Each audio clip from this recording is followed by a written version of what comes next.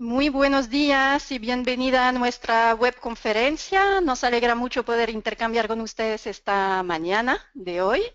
Yo soy Elizabeth Robert y coordino el curso Igualdad de Género a nivel local en América Latina y el Caribe, Gobernabilidad Democrática y Desarrollo eh, Inclusivo.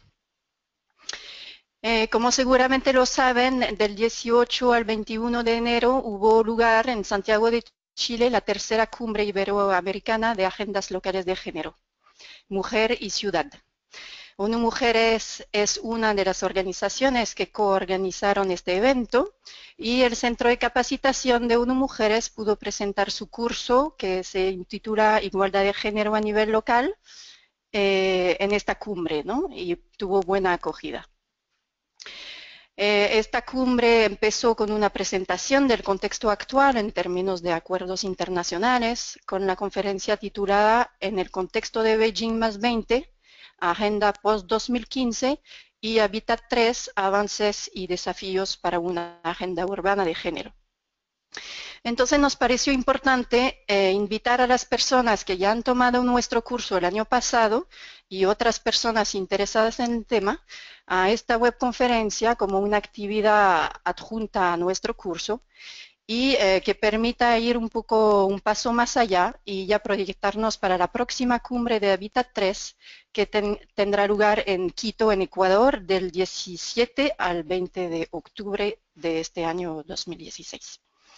Entonces tenemos con nosotras a nuestra panelista, Ana Falú, desde Argentina, que es experta en género y en particular trabaja en UN Habitat. Eh, muchas gracias a Ana por su tiempo, porque sabemos que está muy ocupada. Y también tenemos con nosotras a María Eugenia Rojas y María Arboleda eh, en esta conferencia. Ellas dos moderan el curso del centro de capacitación eh, en las dos ediciones que vamos a tener este año. Son expertas en género y tienen una muy rica trayectoria en el tema de desarrollo local y sobre participación política de las mujeres. María eh, está con nosotras y nosotros desde Ecuador y María Eugenia desde Bolivia. Entonces, muy buenos días también a María y a María Eugenia. En un primer momento, eh, María Eugenia les va a presentar a Ana Falú y eh, también después de la presentación de Ana, eh, moderará la sesión de preguntas y respuestas. Si ven bien en su pantalla, tienen, tienen una función a la derecha que se llama Questions. Entonces, acá pueden ir poniendo sus mensajes eh, vamos a recoger sus preguntas durante la presentación de Ana y eh, entonces después eh, resumiremos un poquito las preguntas y Ana irá respondiéndolas. Después de que Ana haga su presentación, María presentará brevemente el curso del cual les hablé y después entonces Ana responderá a las preguntas que han hecho. Pues sin más, nos deseo a todas una excelente eh, webconferencia. Espero que haya un rico intercambio de ideas y le paso la palabra a Mauge.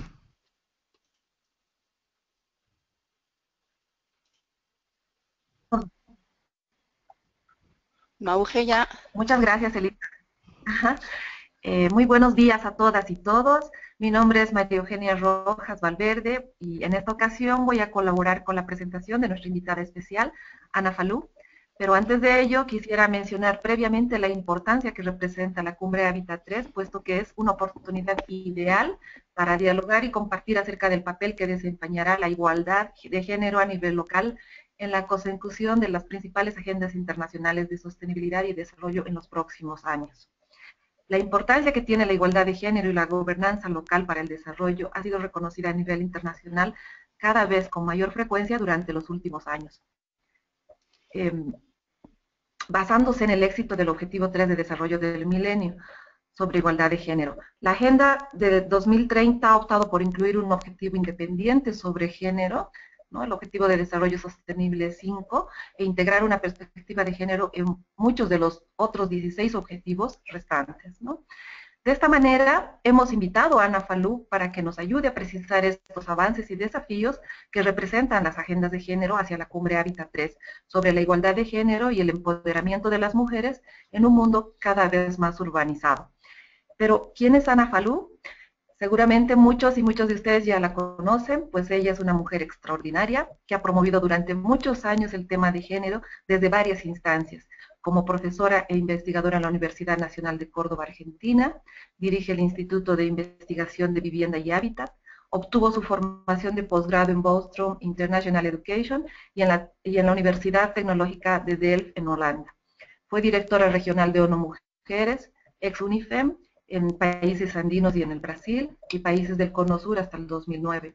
Actualmente hace parte como experta de AEGI, Grupo Consultor para la Inclusión de Género del Director Ejecutivo de ONU, Habitat. Coordina también el Núcleo de Conocimiento de Género en la misma agencia de ONU. Es miembro fundadora de la Red Mujer y Hábitat en América Latina. Autora de artículos y libros en temas de vivienda, ciudad y hábitat y género. Impulsó en la región programa, eh, está impulsando actualmente programa de Ciudades sin Violencia para las Mujeres Ciudades Más Seguras, para todos, desde el 2004. Eh, bueno, con esto eh, eh, vamos a dar la palabra a Ana, que nos va también mencionar la agenda de, la, de, Hábitat 3 en torno a estos ejes, ciudad, mujeres y violencias en las ciudades, mujeres y vivienda, mujeres y servicios, mujeres y equipamientos, mujeres y transporte, mujeres y agua. Estos son justamente parte de la agenda, son los ejes temáticos que vamos a desarrollar eh, ahora con, Ana. Bueno, sin más, le doy la palabra a Ana, por favor. Previamente vamos a, realizar estas tres preguntas motivadoras en torno a, lo que eh, se va a desarrollar en esta webconferencia. ¿Cómo está organizado el proceso eh, Habita 3, cómo están participando las mujeres para asegurar la inclusión de los derechos a la ciudad, cuáles emergen como temas principales. Eh, vamos a precisar esto con Ana, por favor. Bueno, no sé si ya estoy en, ya estoy comunicada. Quería saludar a todos. Ya estoy, bueno, muy buenos días a todos y a todas. Eh, quiero agradecer a ONU Mujeres, al Centro de Capacitación em, en Santo Domingo, particularmente a quien coordina este, este curso de igualdad de género a nivel local, desde esta perspectiva de la gobernabilidad democrática y el desarrollo inclusivo, que son desafíos todavía tan caros a nosotras las mujeres en nuestra región y diría que en el mundo. A Elizabeth Robert, y por supuesto a la querida María Arboleda, quien ha sido pionera en estos temas y nos recordábamos hace muy poco en la tercera cumbre iberoamericana de políticas municipales de género, Mujer y Ciudad, que acaba de mencionar María Eugenia Rojas Valverde en Chile, que fue María Arboleda quien coordinó desde lo que en aquella época era Yula, María me corregirá después, el primer programa que se hizo sobre gobiernos locales y mujeres. En aquella época creo que le llamábamos mujeres. Y yo tuve el privilegio de contribuir con María junto a Janine Anderson del Perú en lo que se llamó el grupo de estudios. Eh, y realmente creo que los documentos que se produjeron en aquel momento, ya no sé cuántos años, seguro mucho más que una década, o por ahí, eh, creo que siguen teniendo validez. Entonces, muchas gracias a María por la facilitación de este curso, y a ella y a Elizabeth y a María Eugenia por esta invitación. Eh, también María Eugenia, saludarla, que es eh, una comprometida desde hace años con los temas de gobiernos locales y derechos de las mujeres. Yo voy a, pasamos por favor, yo voy a tratar de hacer una breve introducción al respecto de este tema, en el cual me han pedido que vincule dos temas o dos desafíos muy importantes.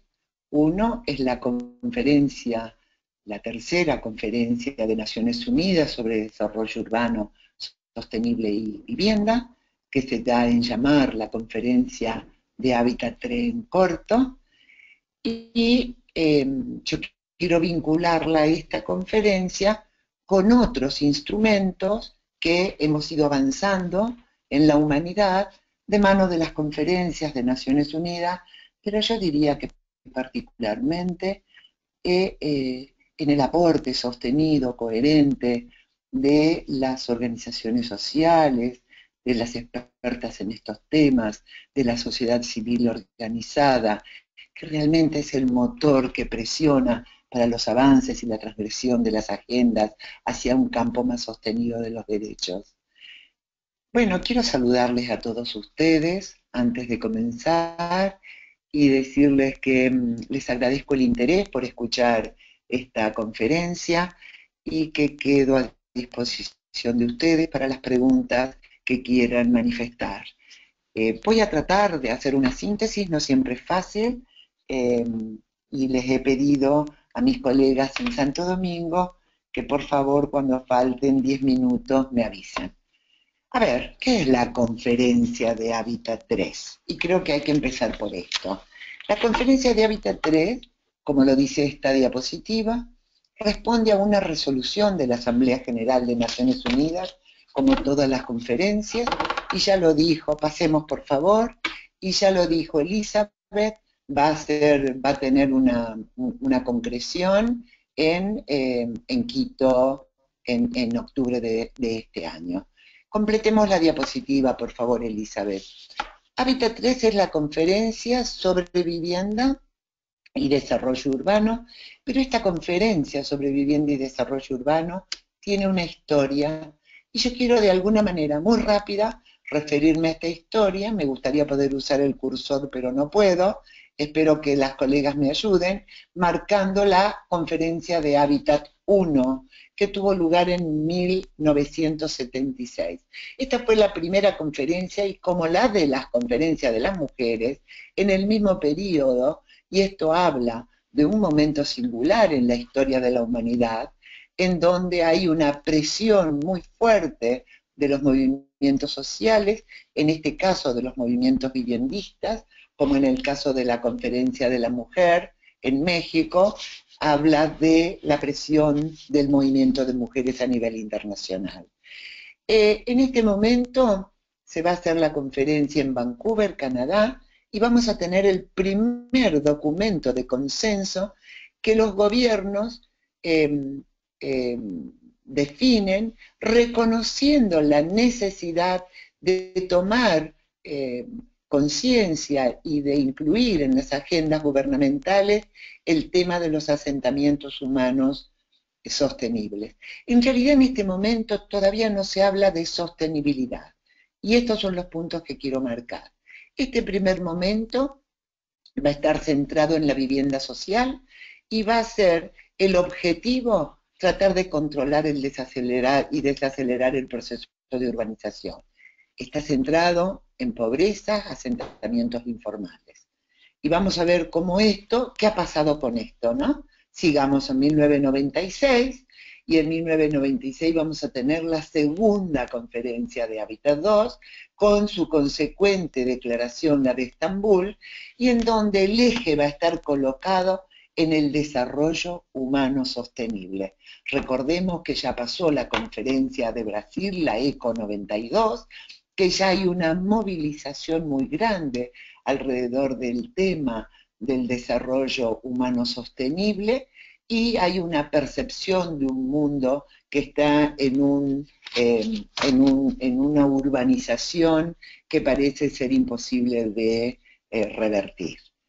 Pasemos, por favor. Esto va a venir de la mano, como dice al final de la diapositiva, de los objetivos de desarrollo del milenio que se adoptan en el año 2000 y que van a tener algunos indicadores muy interesantes con respecto a pobreza, educación e infancia, no así en el tema de derechos de las mujeres, porque van a ser eh, eh, objetivos de desarrollo que vamos a cuestionar por su, la escasez de su alcance, sobre todo para nosotras y nosotros los latinoamericanos.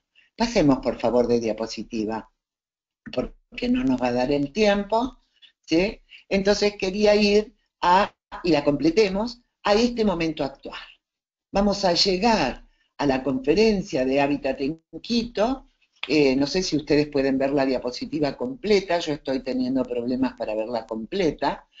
Eh, eh, después de la cumbre del milenio, después de Río más 20, después de una serie de momentos de, revisión de estas distintas agendas, vamos a llegar a el momento de, de la conferencia de hábitat en Ecuador en 2016, en donde el tema central es ciudades y sostenibilidad.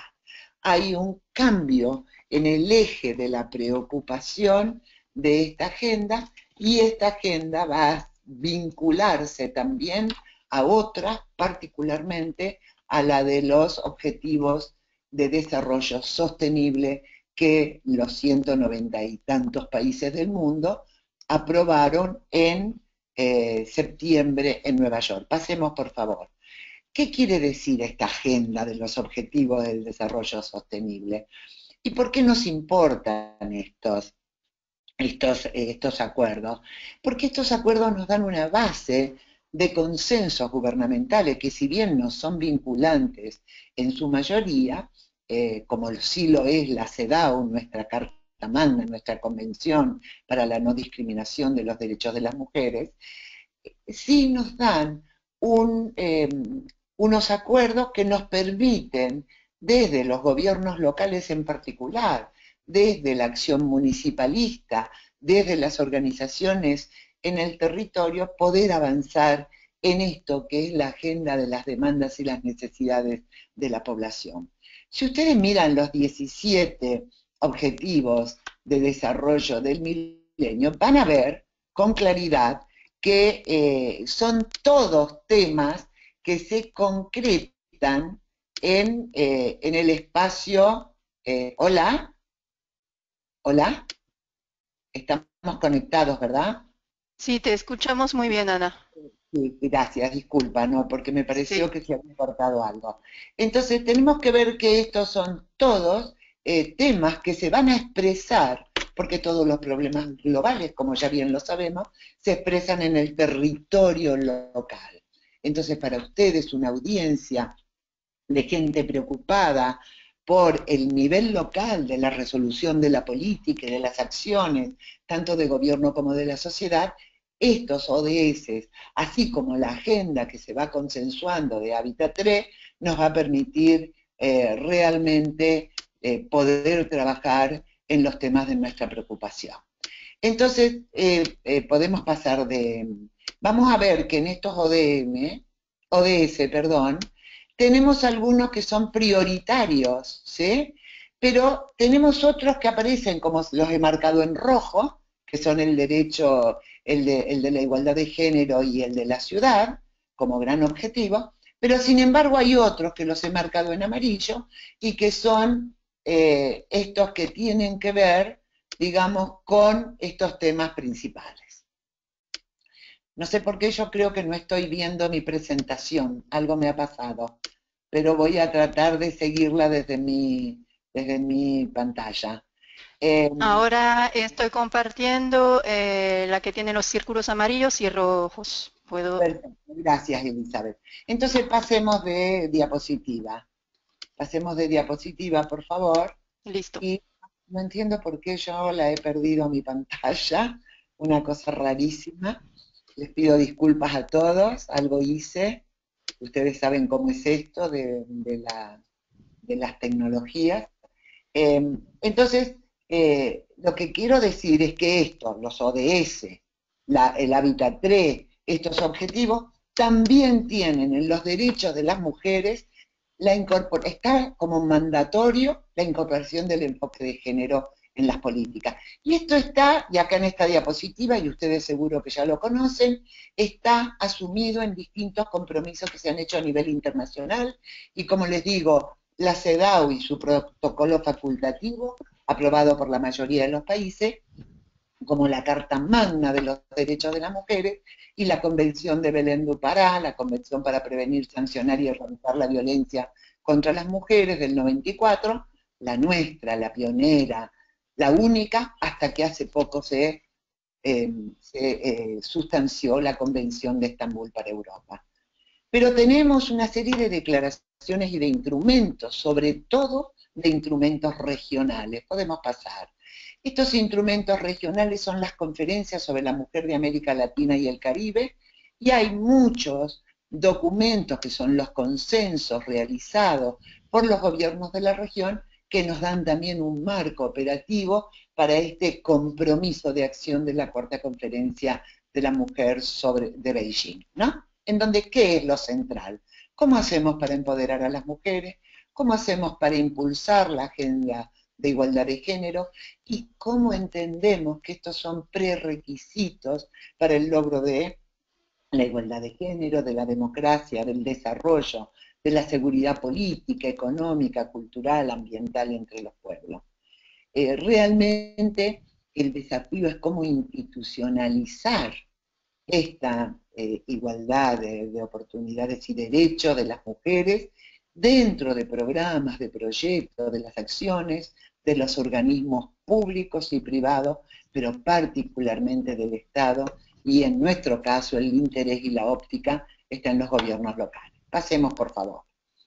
Entonces, eh, tenemos los objetivos de desarrollo sostenible, la igualdad de género, y tenemos la conferencia de Hábitat 3, con el objetivo 11 Ciudades Comunidades Sostenibles y el marco de lo que hemos conseguido en el tema de las mujeres. Pasemos, por favor. ¿Qué ha cambiado en el mundo? ¿Por qué estas conferencias son importantes y qué ha cambiado en el mundo desde la conferencia de Hábitat 2, de la cual acabo de señalarles y hablar con ustedes? En Hábitat 2, en el 96, teníamos 2.6 mil millones de personas viviendo en ciudad. En el año 2016 tenemos más de 4 mil millones de personas viviendo en ciudades. En el momento de hábitat eh, de, de, los 90 teníamos un 45% de población en ciudades. Hoy tenemos un 54.5 promedio en el mundo.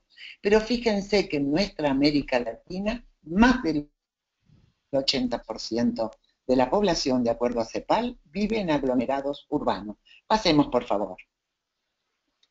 Entonces, ah, tenemos cambios sustantivos, ¿no? De 269, digamos, 270 ciudades, hemos pasado ya seguro que más de 430 ciudades, porque solo en Asia han aparecido 107 ciudades nuevas, solo en nuestra región, en América Latina, tenemos en este momento, según CEPAL, más de 30 ciudades que eh, tienen, han crecido en las últimas décadas a más de un millón de habitantes. Digo, hay cambios sustantivos que se están reflejando día a día y que nos están planteando que eh, dónde está la población del mundo y dónde están estos desafíos de nuestra región. Dónde los gobiernos municipales tienen un poder que muchas veces en las ciudades capitales, por ejemplo, puedo citar el DF de México, puedo citar eh, eh, el caso de Buenos Aires en Argentina, o de Bogotá en, en, Colombia, o de Santiago de Chile, y podemos seguir, son ciudades que van a modelar conductas de los países en general y que también van a entrar en lo que es muy importante, la decisión política de cómo cuáles son las gestiones y los destinos del país. Entonces, las ciudades, estas ciudades capitales, estas ciudades eh, eh, metropolitanas, pasemos por favor de diapositiva, ¿sí? han, em, han ido, eh, digamos, marcando esta agenda global para el mundo que queremos, para el mundo en desarrollo que queremos, y tenemos, por otro lado, estos objetivos de desarrollo sostenible, que es la Agenda Post-2015, la que viene después de los objetivos del milenio, que realmente si se cumpliera, como dice la querida Line Vareiro, si se cumpliera en estos 15 años esta agenda ambiciosa para la humanidad que ha comprometido a los gobiernos, como la agenda del cambio climático que se, que se decidió en París hace muy poco tiempo, tendríamos un cambio de para la humanidad. dejaríamos un legado, que es el que está en signo de pregunta, que es el que tenemos que pensar entre todos, ¿no? Entonces, este, esta es la situación en la que estamos. Pasemos de diapositiva, por favor. Y entonces, ¿por qué es tan importante esta conferencia de hábitat? Porque está hablando de transformaciones en las ciudades y en nuestras ciudades, en una región de América Latina, en donde las ciudades y los aglomerados urbanos están marcados por desigualdades sociales, económicas, por una, una segregación urbana que se ha transformado en fragmentación del territorio, como dice Rod Burgess, un estudioso en, Inglaterra, eh, que son casi como si vivieran fragmentos segregados, divididos, a veces divididos por heridas urbanas que parecen muy difíciles de suturar, como pueden ser vías de ferrocarril, eh, grandes corredores urbanos, eh, etcétera, etcétera. Ustedes lo conocen porque esto se vivencia en cada aglomerado de América Latina cotidianamente. Pasemos, por favor. ¿Y cuál es el gran desafío de la región? Y acá me gustaría que me ayuden con el cursor para ver el gráfico de desigualdad de Gini. Con el coeficiente de Gini marcamos la desigualdad en la región. Ustedes pueden ver una línea azul, no sé si la podrán marcar, a la línea azul que atraviesa el gráfico, en donde tenemos en el primer lugar los países de América Latina y Caribe, en segundo lugar el grupo de los países asiáticos y en tercer lugar los países desarrollados. La línea roja es el promedio deseable. Miren cómo nos encontramos los latinoamericanos. Somos los campeones de la desigualdad.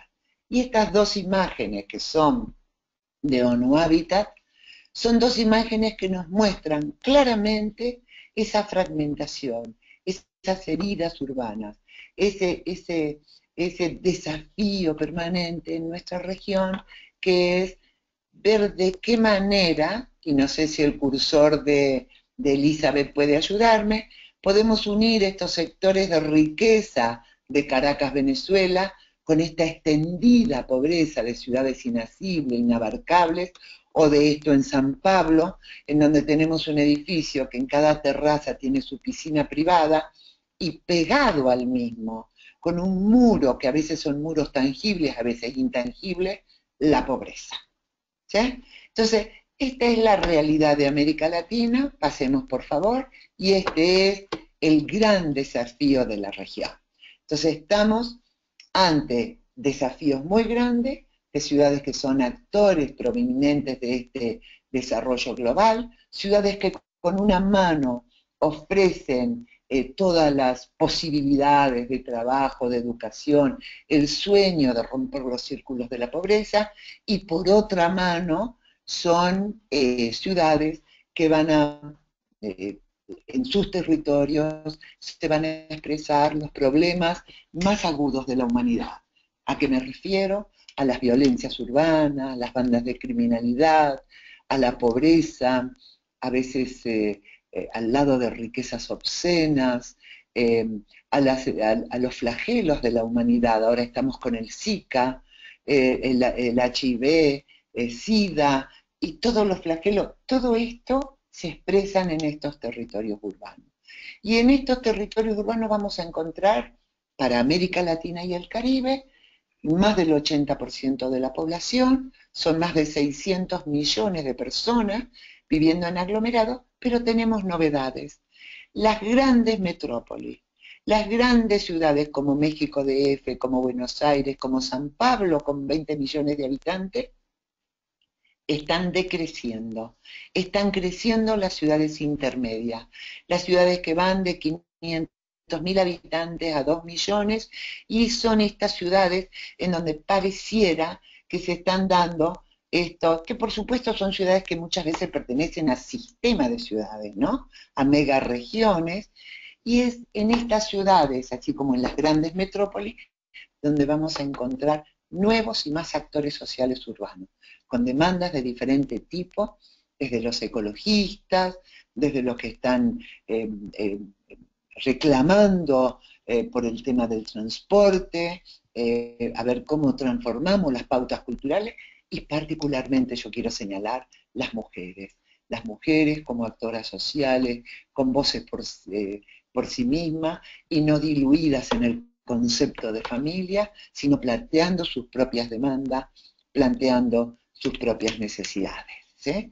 Eh, sin embargo, hay que decirlo que a pesar de que el siglo XX, el siglo pasado, ha sido el siglo de los derechos, en donde hemos avanzado con tantos instrumentos consensuados por los, con los gobiernos e impulsados por las sociedades eh, del mundo y de América Latina en particular, eh, hay millones de mujeres de nuestra América Latina que no conocen sus derechos, no saben cómo ejercerlos ni cómo reclamarlos. ¿no? Entonces, también, si bien hay actores sociales con demanda, con gran activismo, con gran capacidad de posicionar temas, tenemos una mayoría de eh, población en particular, de mujeres que no conocen sus derechos y este es un desafío permanente y es una tarea quizás relevante para los gobiernos locales, los gobiernos territoriales.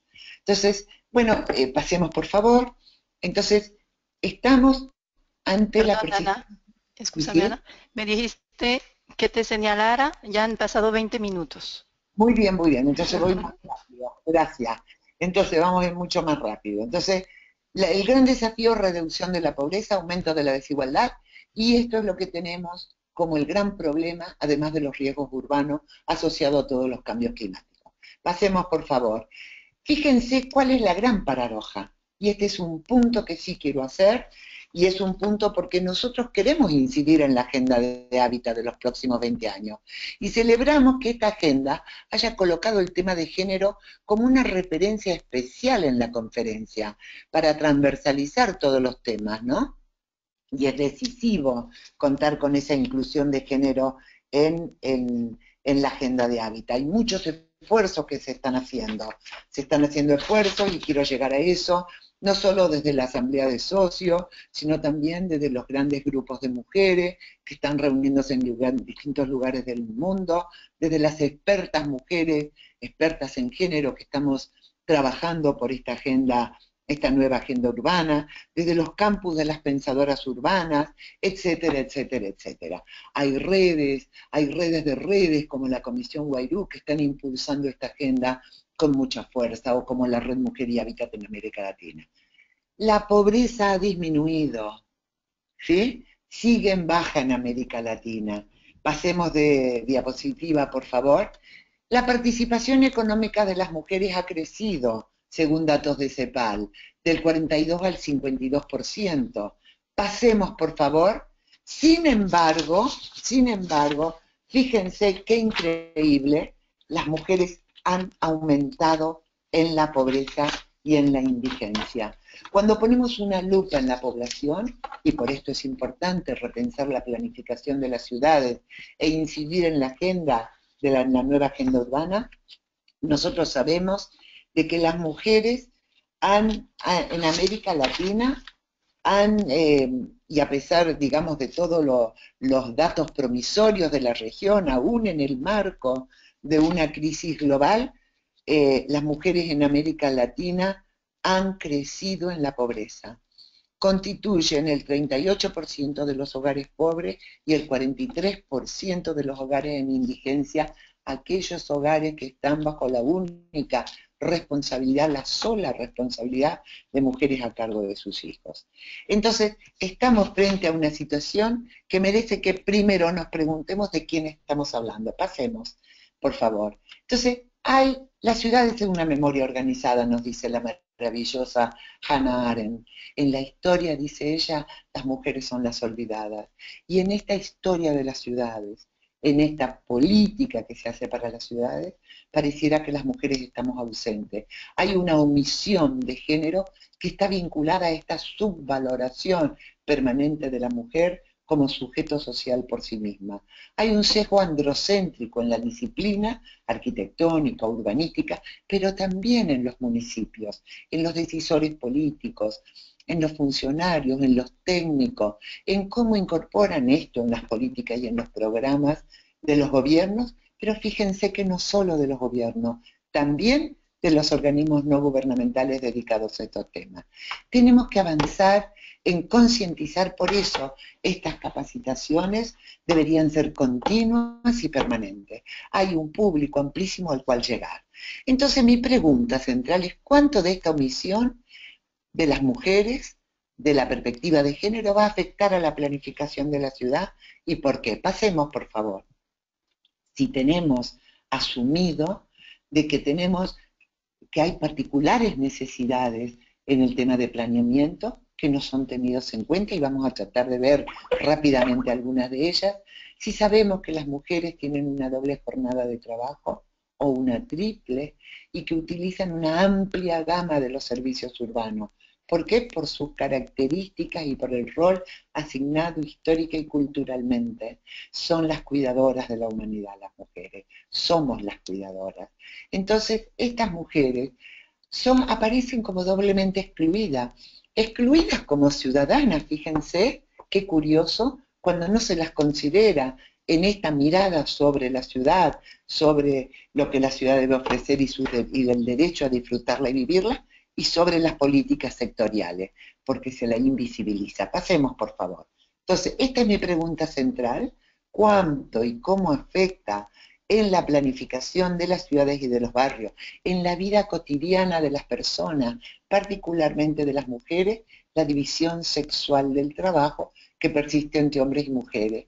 Y entonces el acceso a los bienes urbanos, a los bienes comunes porque digamos que la división sexual del trabajo, pasemos de diapositiva, está hablando de un, de un supuesto también que no está incluido en esta diapositiva, muy generalizado en América Latina y que no se condice con la realidad de hombres proveedores y de mujeres que están dedicadas al cuidado del hogar, de los hijos, de la tarea reproductiva de la humanidad.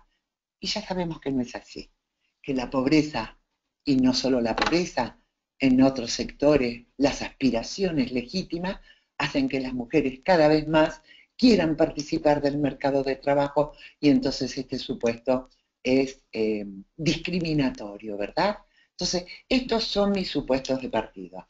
Estos son estas desigualdades que confrontan las mujeres que las colocan en una situación de mayor vulnerabilidad. No porque las mujeres sean vulnerables, de ninguna manera. Lo hemos demostrado individual y colectivamente. Pasemos, por favor.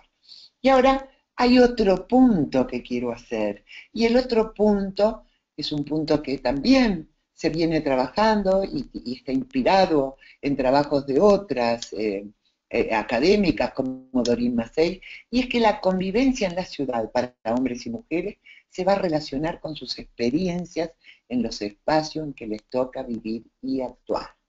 Entonces, ¿qué agrego a esto?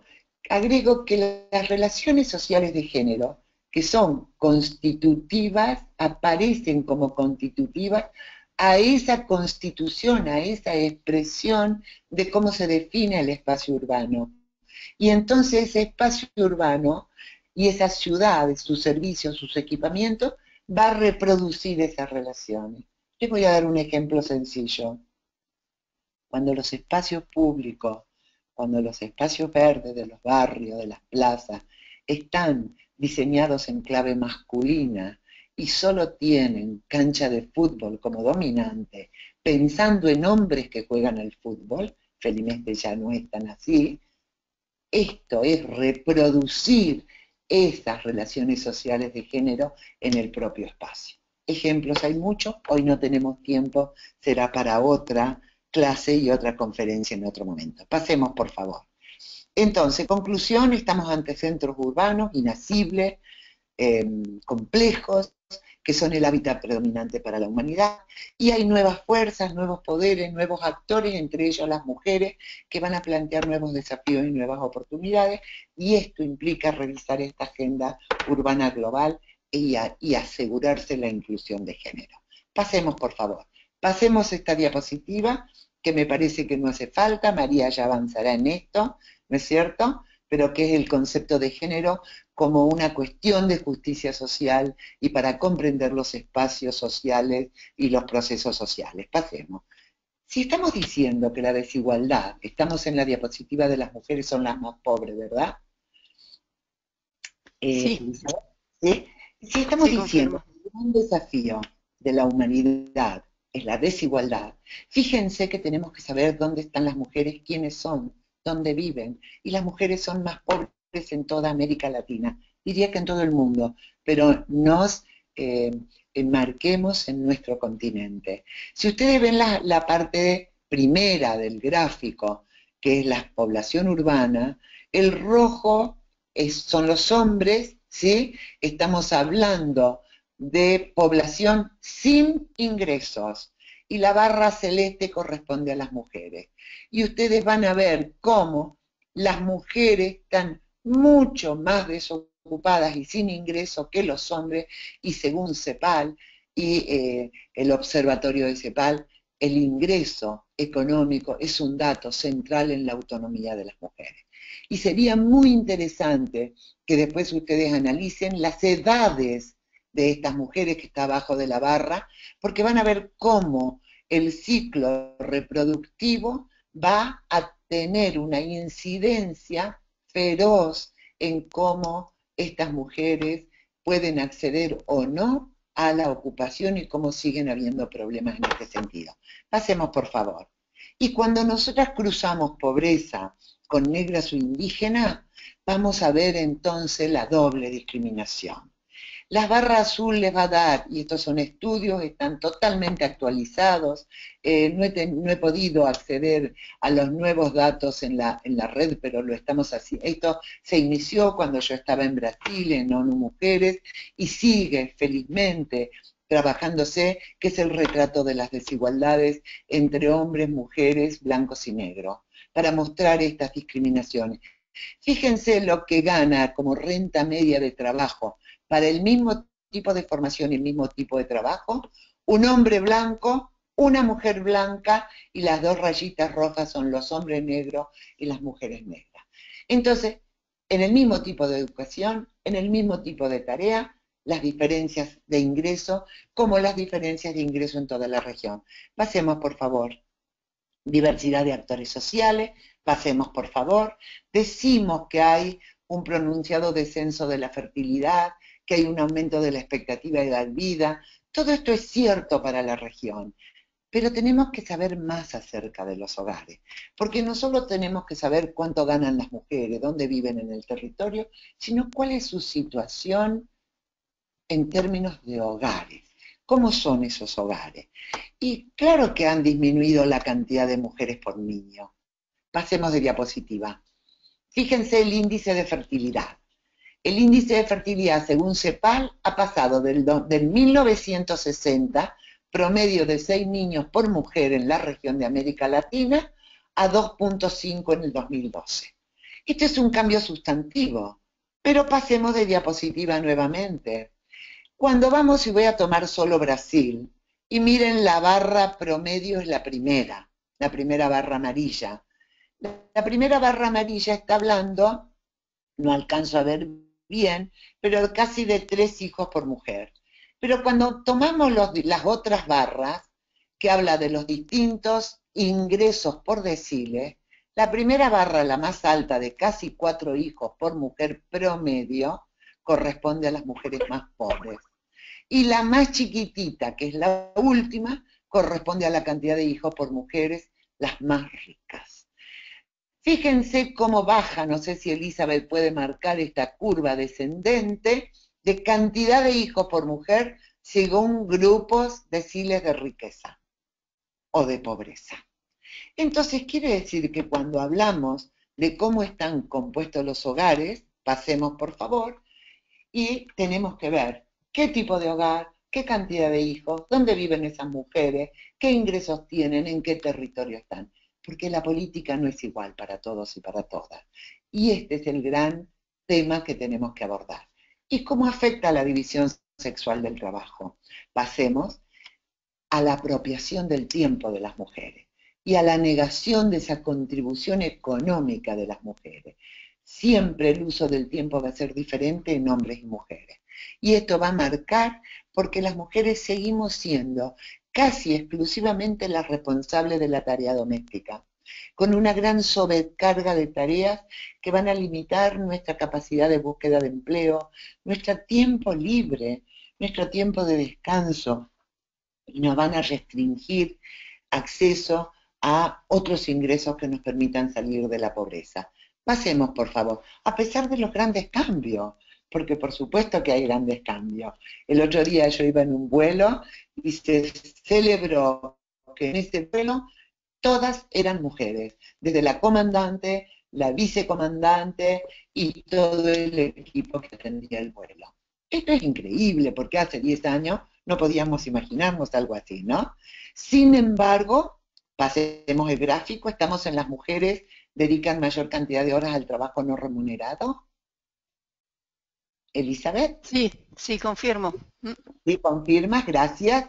Miremos para tres casos, Bolivia, Guatemala y Nicaragua. Estos son datos trabajados por eh, CEPAL. En el caso de México, el INEGI dice que las mujeres trabajan promedio, promedio, escuchen bien, 22 horas más por semana que los hombres. Y en este caso, fíjense que está hablando de horas diarias, ¿sí? En Bolivia 5.5 horas las mujeres, 6.4 horas las mujeres en Guatemala contra 1.8 de los hombres, de quehaceres en el hogar. ¿sí? Quiere decir que en Guatemala las mujeres tienen cuatro horas y media más por día promedio de tareas que los hombres. A las ocho horas de trabajo, a las horas de traslado, hay que agregarle esta tarea. Pasemos, por favor, pasemos esta también, después la pueden revisar. Pasemos. Y entonces, ¿cómo va a impactar esto? Porque con esto quiero ir cerrando. ¿Cómo va a impactar esta parte diagnóstica que es necesario profundizar, que es necesario trabajar con indicadores, pero que es necesario ponerle una atención particular y es lo que queremos llevar a la agenda de Hábitat, eh, de Hábitat 3. Tenemos temas centrales, la accesibilidad y el transporte y los servicios. ¿Por qué? Porque ya lo dijo Jane Jacob en los años 60, las mujeres somos las cuidadoras y somos las que usamos el servicio. Los servicios de proximidad, el transporte seguro, el transporte que nos lleve y nos traiga no solo a nuestros hogares, sino ese transporte que nos va a permitir la multiplicidad de viajes que hacemos las mujeres o un transporte que esté pensado en términos de accesibilidad, quiere decir con conectores que permitan que las mujeres dejen los niños en el cuidado infantil y puedan seguir a su trabajo, y un cuidado infantil con mayor amplitud de horas de servicio, etcétera, etcétera, etcétera. El equipamiento urbano y el espacio público. El espacio público se define por su uso, debe ser el lugar del encuentro, de la sociabilidad, no el lugar donde se instala la barra masculina de la esquina para marcar la jerarquía masculina en el uso del espacio. Entonces, ¿cómo hacemos que ese equipamiento, urbano esté pensado también en clave de mujeres, en clave de niñas, en clave de adultos mayores, para que sea el espacio de la diversidad y no el espacio de las jerarquías masculinas por sobre las mujeres, siendo y reafirmando ese espacio, esa subvaloración de género. Y tercero, el gran tema desafiante de la región, que debería estar casi primero, pero que está vinculado a los anteriores, que son las violencias urbanas y las discriminaciones.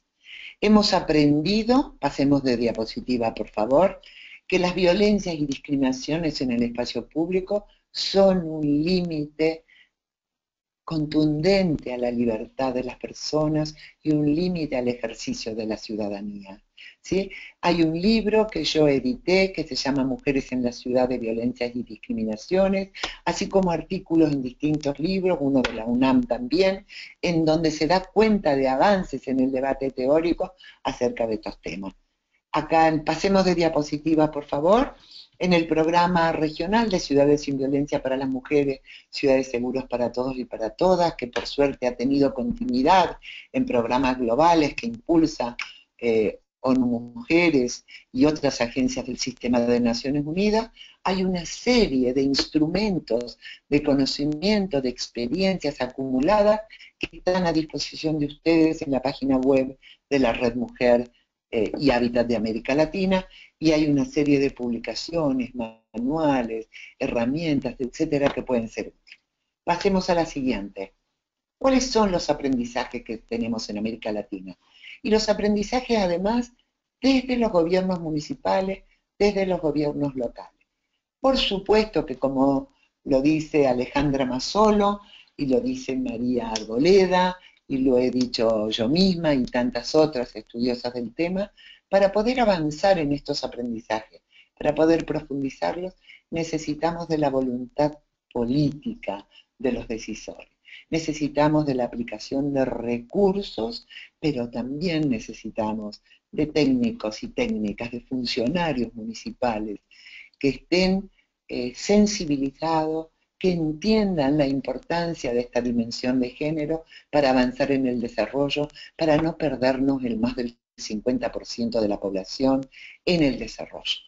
¿Qué, necesitamos contar con estadística, con observatorios urbanos, capacitar y formar a los funcionarios, incluir la perspectiva de género en planes de ordenamiento territorial? Tenemos avanzados algunos ejemplos. Yo acabo de hacer una contribución para eh, eh, Centroamérica en este sentido, de manuales de ordenamiento territorial de género, y hay otras experiencias en la región. Cómo trabajar el tema de la violencia, de la, inseguridad o de la seguridad, ese par tan difícil que tenemos que profundizar todavía, articulado a la red de equipamientos y servicios urbanos, pero sobre todo articulado a las organizaciones territoriales, a las organizaciones de mujeres, a los grupos de vecinos, a a las distintas experiencias que se han hecho en este sentido, en que son de nombrarlas de las favelas del Río de Janeiro y algunas otras que se han desarrollado en el marco del programa regional que les mencioné. La planificación urbana que debe incorporar espacio público, movilidad, servicio desde esta perspectiva de las mujeres y su rol actual y el rol que queremos transformar. Porque hay un rol de cuidadora que necesitamos reconocer y para poder transformarlo y generar autonomía, tenemos que incorporar en ese diseño del espacio público, de la movilidad, del transporte, de los servicios, esta mirada de cuál es la realidad de las mujeres en los municipios, en los territorios urbanos.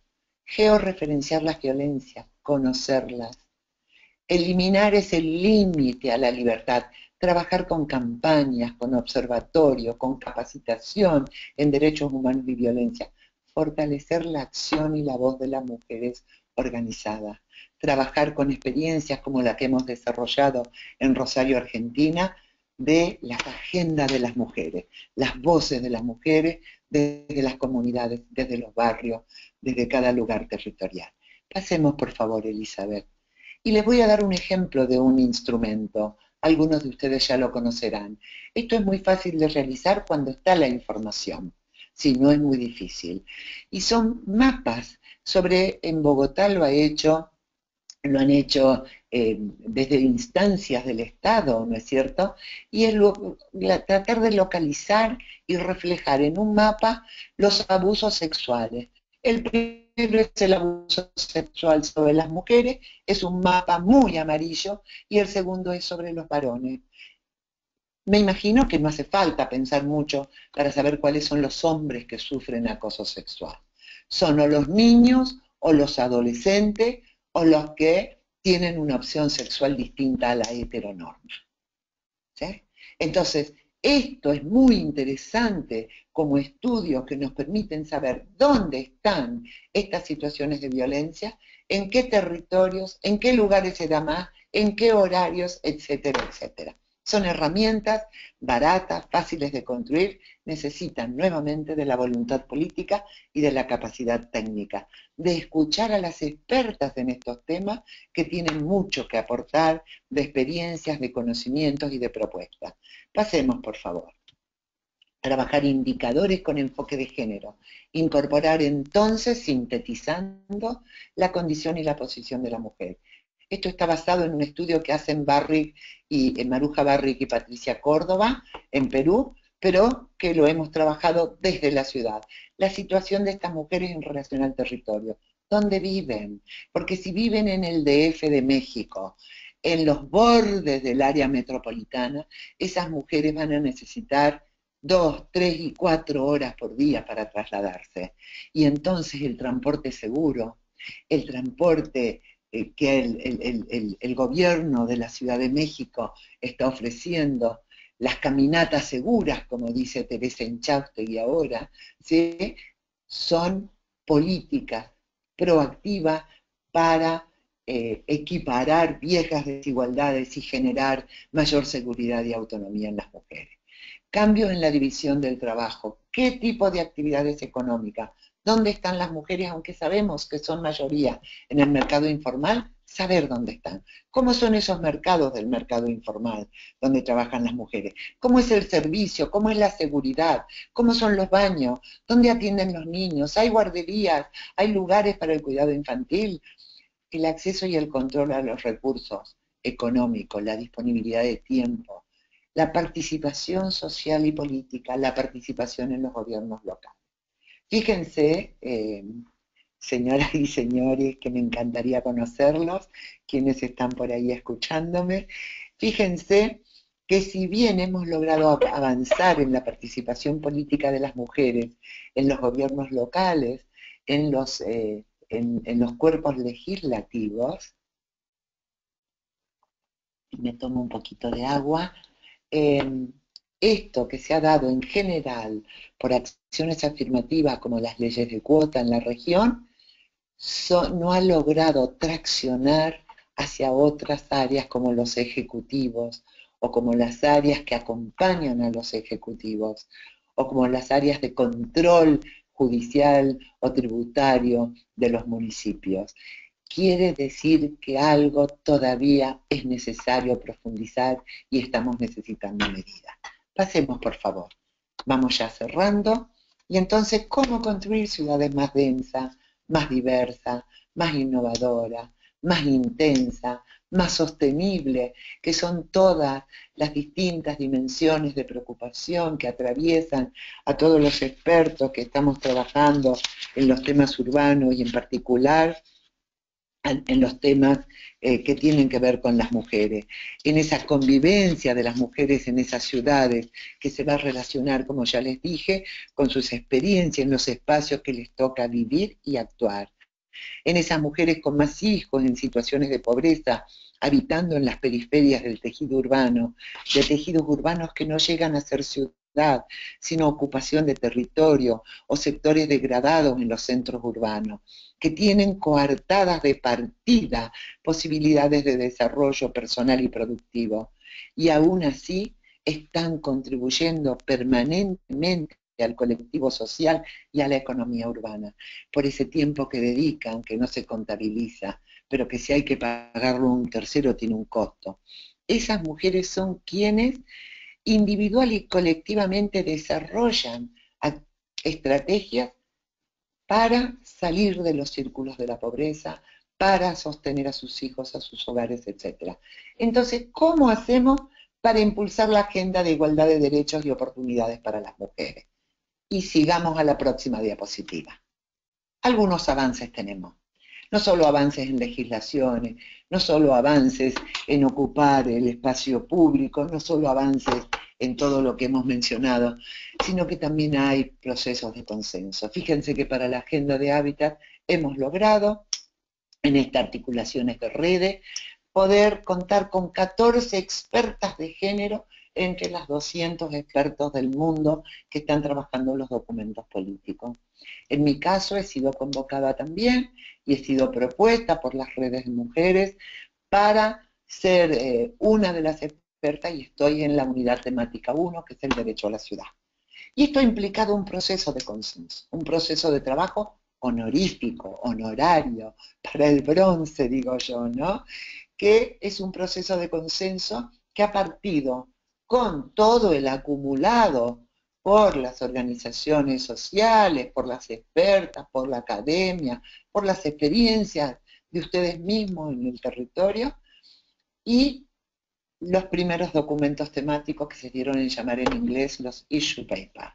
Esos documentos temáticos estuvieron abiertos a aportes en el año 2015 en la web y a partir de esos aportes, a los cuales la gente se fue sumando con ideas y propuestas, se conformaron 10 equipos de expertos que están trabajando los 10 documentos políticos, que son los consensos entre expertos de gobierno y sociedad civil y academia. Y esto va a llegar a la Asamblea de Hábitat, en donde los representantes de los gobiernos y la capacidad de presión de las organizaciones sociales y expertos va a definir la nueva agenda urbana para los próximos 20 años. Fíjense qué importante. Los objetivos de desarrollo sostenible en 15 años, la nueva agenda urbana, los compromisos con los instrumentos para la igualdad de género, o sea, tenemos una serie de avances que nos permitirían, pero también qué importante reto para ver cómo, cómo eh, podemos construir estos desafíos pendientes. Pasemos, por favor. Entonces, Hábitat 3 va a ser acuerdos y cuáles son los resultados esperados, consolidar lo aprendido, identificar las buenas prácticas, facilitar acciones y políticas públicas, establecer sistemas de monitoreo, movilizar recursos. Es fundamental movilizar recursos, pero no solo para la asistencia técnica, como dice esta diapositiva, para los gobiernos, para la sociedad civil, para la academia, para los movimientos sociales. Fortalecer la acción de las redes, producir gobiernos y ciudades con capacidad de, de respuesta, articular estrategias incorporar la dimensión de género, de igualdad de oportunidades y derechos. Pasemos, por favor. Estas son las 10 unidades políticas. El derecho de la ciudad, lo sociocultural y el marco urbano, las políticas nacionales urbanas y la revisión de esas políticas. Hay un documento que ha elaborado GIC, la, Coalición Internacional de Hábitat con sede en México, muy interesante que recupera algunas políticas nacionales, la gobernanza urbana, el curso al cual ustedes están, eh, están em, eh, participando y que podrían aportar muchísimo desde esto, y el desarrollo institucional, la capacidad de desarrollo, la parte económica y financiera, los sistemas fiscales. Las mujeres somos las mejores pagadoras, ya lo sabemos. ¿sí? Las estrategias de tierra, de mercado, hay tantas experiencias interesantes sobre cómo trabajar sobre el plusvalor de la tierra urbana para generar beneficio a aquellos que menos lo tienen. Cómo generar, eh, a lo mejor, eh, ventajas para el inversionista, el desarrollista, pero obligarlo a incorporar algún servicio, algún equipamiento, algo que, o vivienda que resuelva el problema de por ejemplo, las mujeres solas a cargo de sus hijos, del cuidado infantil, del cuidado de los adultos mayores.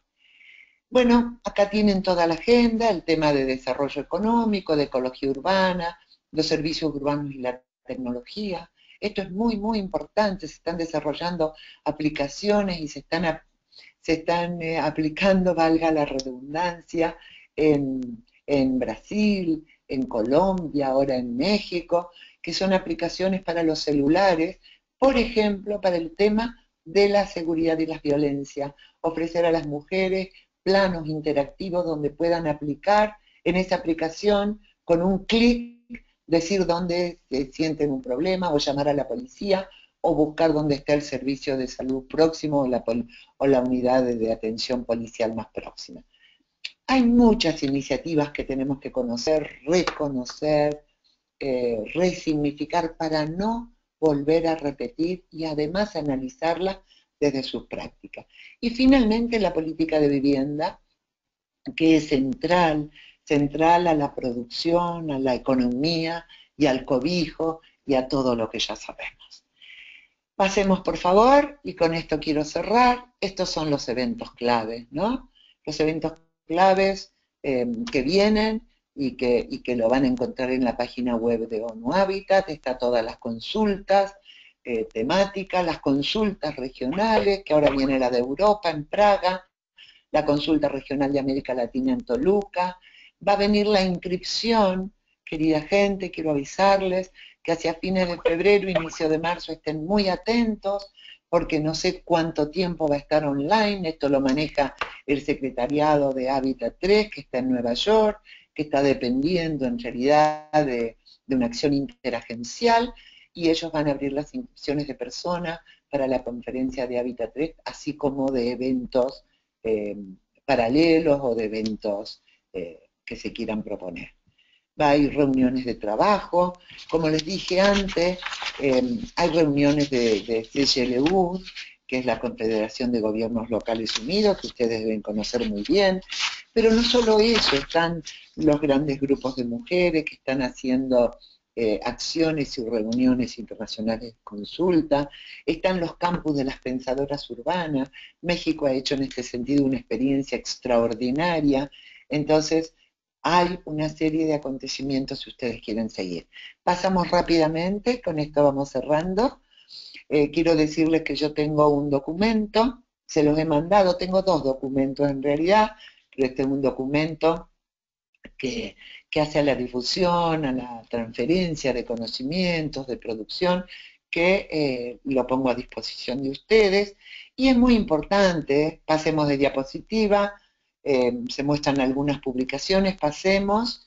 Eh, quiero, y con esto cierro y les agradezco vuestra atención y les pido disculpas por haberme eh, tomado más tiempo, pero quiero decirles que hay mucho producido y que seguro ustedes mismos tienen una experiencia riquísima para transferir, para que intercambiemos y, y creo que de esto se trata este proceso hacia Hábitat 3, hacia la consolidación de los ODS y el compromiso de los gobiernos y la sociedad mundial, y sobre todo el compromiso con los derechos de las mujeres y la igualdad de oportunidades para las mujeres.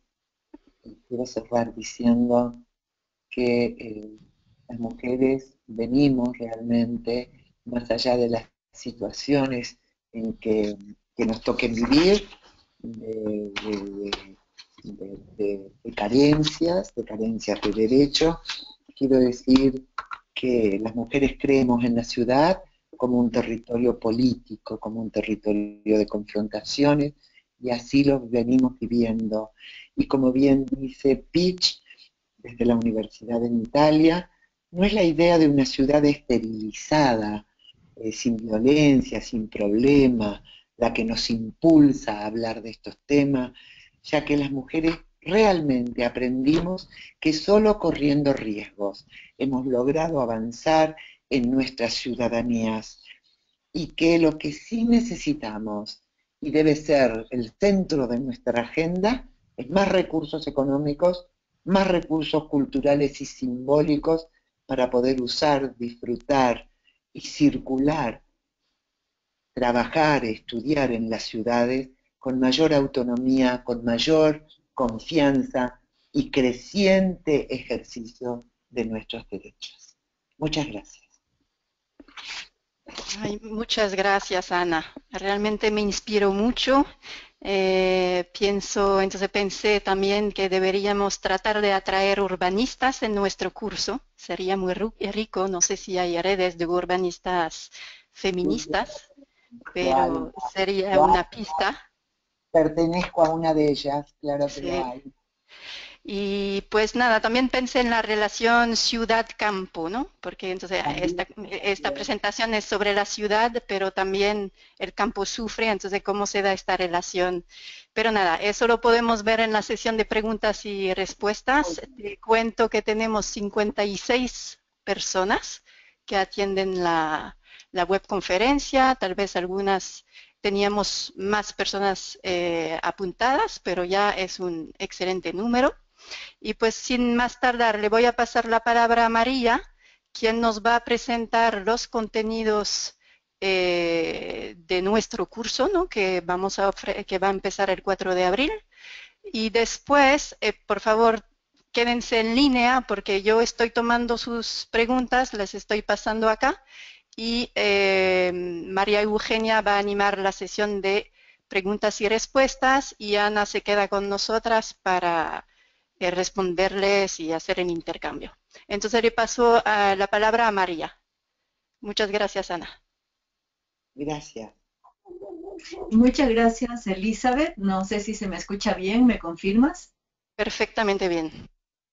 Bien, eh, pues muy buena, muy buen día o muy buena tarde para quienes estén ya en la tarde, a todas las compañeras y los colegas que nos acompañan en esta webconferencia. Eh, soy María Arboleda, moderadora del curso Igualdad de Género a nivel local del Centro de Capacitación de ONU Mujeres y comparto a partir de este año esta acción con María Eugenia Rojas.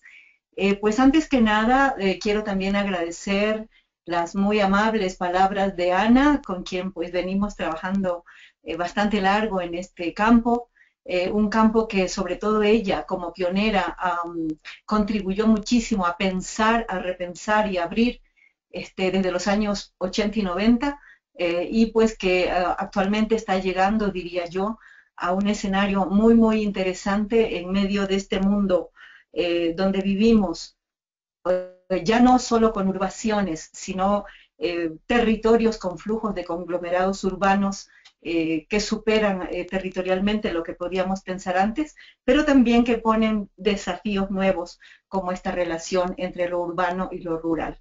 Y por qué no también en América Latina, a pesar de que seamos uno de los continentes muy urbanizados. Pues yo quiero empezar este, diciéndoles que nuestro curso, ven allí en la pantalla la primera lámina, eh, se llama Igualdad de Género a nivel local. Y pues eh, ponemos énfasis no solamente en la palabra género, sino también en la palabra igualdad, que es como conceptualizamos eh, a partir de la última década todo lo que implica construir derechos para las mujeres diversas. Pues nos enfocamos en América Latina y el Caribe, en, las comunidades y países de lengua española.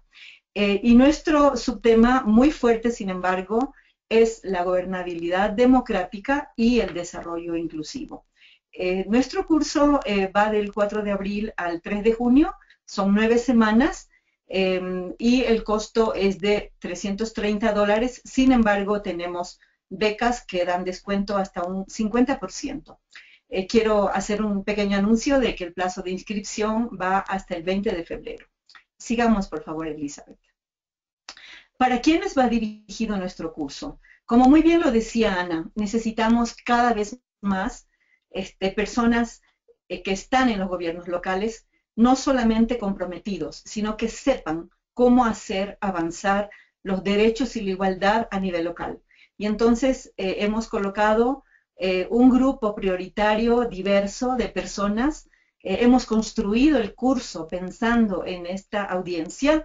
entonces tenemos allá autoridades locales electas, mujeres y hombres, desde luego a nivel local, pero también pueden ser a nivel nacional de instancias que trabajan con gobiernos locales.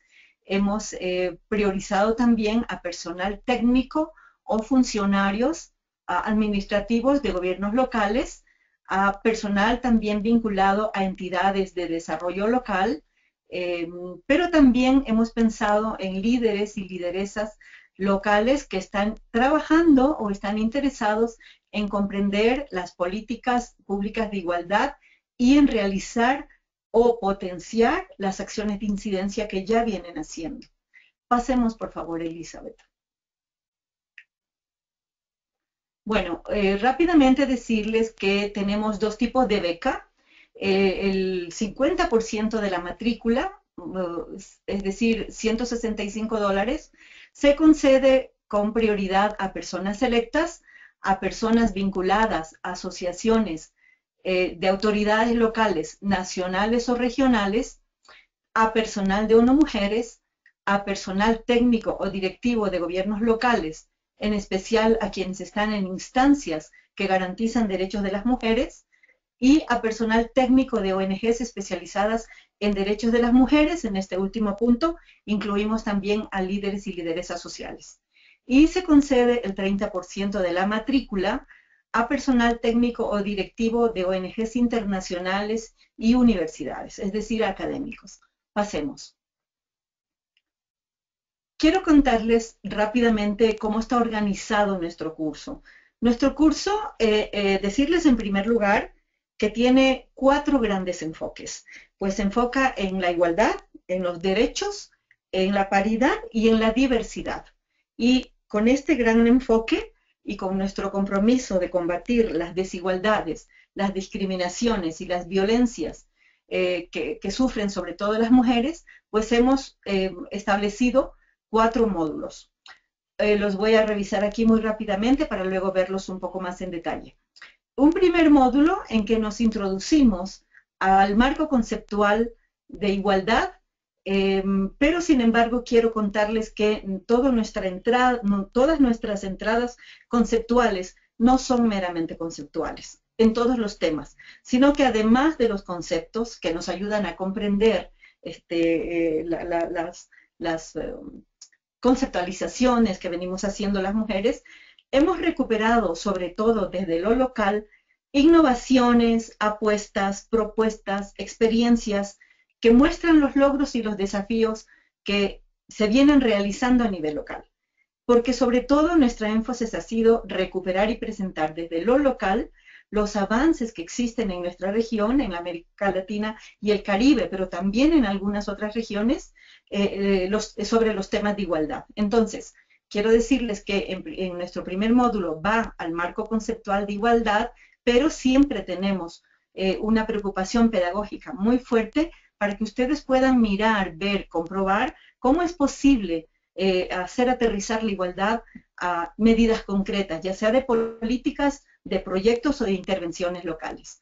En este primer módulo tenemos también un repaso de la normativa internacional sobre igualdad, eh, con una mirada histórica, cómo se fue construyendo, y tenemos finalmente en este primer módulo este, un panorama del contexto regional. Nuestro segundo módulo enfoca mucho en lo que son los territorios, qué es lo local y cómo dentro de lo local eh, se pueden pensar dos temas, la gobernabilidad y el desarrollo género sensitivo, la gobernabilidad democrática. El tercer módulo va enfocado muy fuertemente al qué hacer. Entonces entramos allá en las políticas públicas locales de igualdad de género y entramos básicamente desde dos temas. El un tema, la transversalización de las políticas públicas locales. Pero no nos quedamos solamente allí, sino que desde el concepto y la propuesta de institucionalización del género, enfocamos la posibilidad de cambios culturales, políticos más fuertes desde las instituciones locales para eh, cumplir el compromiso de género, no solo en las políticas, sino en su estructura interna también y en la vida del día a día. Finalmente, eh, y como lo decía Ana, el empoderamiento de las mujeres es un prerequisito para la igualdad.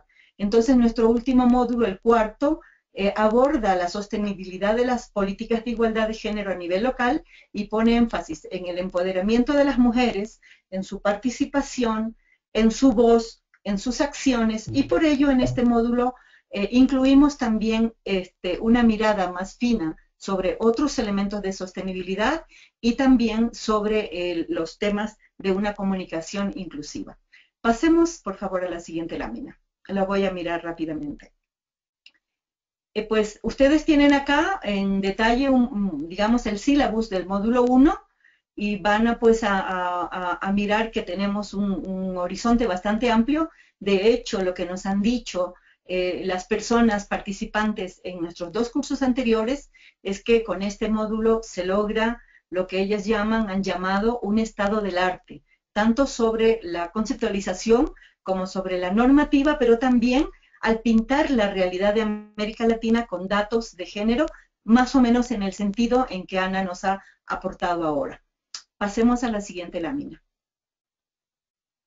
En el módulo 2 nos enfocamos, como les dije, en los territorios y ponemos un énfasis no solamente en los territorios urbanos, sino también problematizamos la relación de lo urbano con lo rural, eh, pero también entramos fuertemente a pensar y repensar el Estado, la descentralización y el género a la luz de los desafíos de la gobernabilidad democrática. Eh, también en esta parte tenemos eh, mucho énfasis en las mujeres como actoras políticas, las mujeres diversas como actoras políticas, recuperamos muchas de sus eh, experiencias y apuestas, por ejemplo, a modo de ejemplo, en experiencias sobre cuidado, en experiencias sobre preservación del ambiente y la naturaleza, acceso a recursos, no solamente al agua de consumo, sino también al agua como recurso productivo, etcétera, etcétera. Y pues ponemos mucho énfasis a nivel, podríamos decir, de una visión política, de lo que implica eh, eh, adoptar un enfoque o unos lentes de desarrollo género sensitivo desde un gobierno local. Quiero decir aquí rápidamente que conocemos la altísima diversidad de gobiernos locales que existen en América Latina, pues con Ana, cuando trabajamos juntas, este fue uno de nuestros este, reconocimientos, ¿no? El reconocimiento de la inmensa diversidad de formas, de orientaciones, de estructuras de los gobiernos locales y pues nuestro, nuestro enfoque es poder aportar herramientas que puedan sintonizar, empatizar con esta diversidad de gobiernos locales que existen en América Latina. Y pues eh, finalmente en este módulo eh, eh, incluimos estrategias de abordaje de las agendas de desarrollo género sensitiva construidas participativamente con las organizaciones de mujeres. Pasemos al módulo 3. El módulo 3 políticas públicas locales e igualdad de género va fuertemente a lo que se conoce como la planificación de género.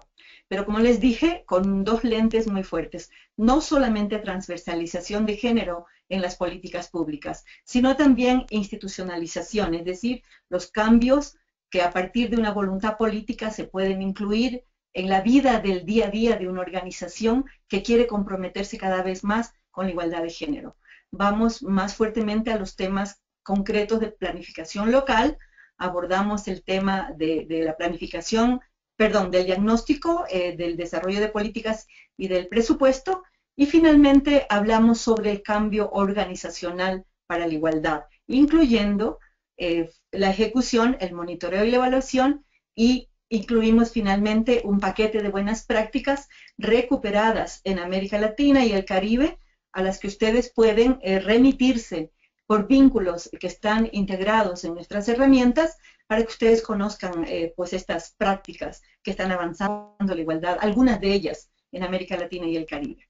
Finalmente, el módulo 4, em, pasemos de lámina. Como les había dicho, pues va a la sostenibilidad. Y nuestro punto principal es el empoderamiento de las mujeres diversas para la igualdad y para la construcción de sus derechos. Entonces trabajamos este, este, este primer, eh, esta primera unidad. Acá damos énfasis, aunque hemos cruzado todo el módulo con temas como los de cuotas y paridad, pero damos énfasis al tema de, la, de las cuotas y sobre todo de la paridad en la representación, tanto formal como informal de las mujeres en los procesos locales y en las estructuras locales de poder. Y luego abordamos elementos para la sostenibilidad eh, y para la comunicación inclusiva. Quisiera cerrar eh, pues esta presentación diciéndoles que este, este eh, curso fue generado gracias a la integración que hizo el Centro de Capacitación de ONU Mujeres, de un equipo que contó con diversas personas expertas de América Latina y el Caribe, y pues que están allí, hemos tratado de recoger todos los temas de los que Ana nos habló, eh, eh, los temas que se podrían llamar también de última generación para el logro de la igualdad de las mujeres a nivel local. Muchísimas gracias. Muchas gracias, María. Perdón. Em, les estaba trabajando en las preguntas, eh, por eso eh, me desconcentré. Em, veo que algunas personas están entrando ahora pensando que empezaba ahora la conferencia. Parece que hubo como una, una confusión ¿no? con los horarios, la diferencia de horarios, pero para las personas que entran ahora, ya Ana Falú nos ha hecho su exposición, María nos acaba, Arboleda nos acaba de presentar el curso y ahora pasamos a la sesión de preguntas y respuestas, así que le abro el micrófono a María y a Ana de nuevo. Eh, voy a pasar acá las preguntas que eh, pasé en este documento Word. Eh, lo voy a agrandar. Eh, y pues, Mauge, te dejo, te dejo la palabra. Gracias, Elizabeth. a ver, quiero mirar lo de las preguntas. Hola, hola. Pienso que podemos ir viendo tal vez un grupo de preguntas y entonces eh, Ana puede responder, tal vez hay preguntas que se, que se pueden eh, responder con una sola pregunta, ¿no? Eh, respuesta, perdón. Perfecto. Elizabeth, ¿quieres que lea las preguntas? Sí, por favor. Ahí voy. Isel Díaz mm, pregunta, nos toca a nosotros organizar nuestras actividades y compartirlas con los varones para que ellos participen de estas y así lograr una equidad de género. Amaya Basilio señala, existe o ha existido un diálogo entre las organizaciones de la sociedad civil y las organizadoras de la cumbre para compartir y debatir sobre los diferentes puntos a tratar como importantes en Quito. Amaya Basilio se eh, indica, se entiende que el desarrollo, como apareció en uno de los gráficos, se entiende como país urbanizado y menos empobrecido, o se entiende que el desarrollo debería basarse en un desarrollo centrado en, a ver acá, eh, desarrollo centralmente social y de bienestar, donde la vida no significa solo tener trabajo, sino tener derecho a una vida que merece ser vivida, como explica Mayor Orozco en cuanto a la economía feminista ese grupo de preguntas primero. Ana. Sí, hola, ¿me, escuchan a mí ustedes? ¿Me escuchan? Hola, ¿me están escuchando? Sí, sí, yo sí, Ana. Eh, vos sabés que se te, escuchó muy, muy cortado, María Eugenia. La última pregunta no la entendí nada. Eh, pero bueno, puedo empezar por las otras. La pregunta 4 que hiciste no la No sé si Elizabeth puede... Es de Maya Elizabeth, ¿estás escuchando? Me parece que nos han perdido.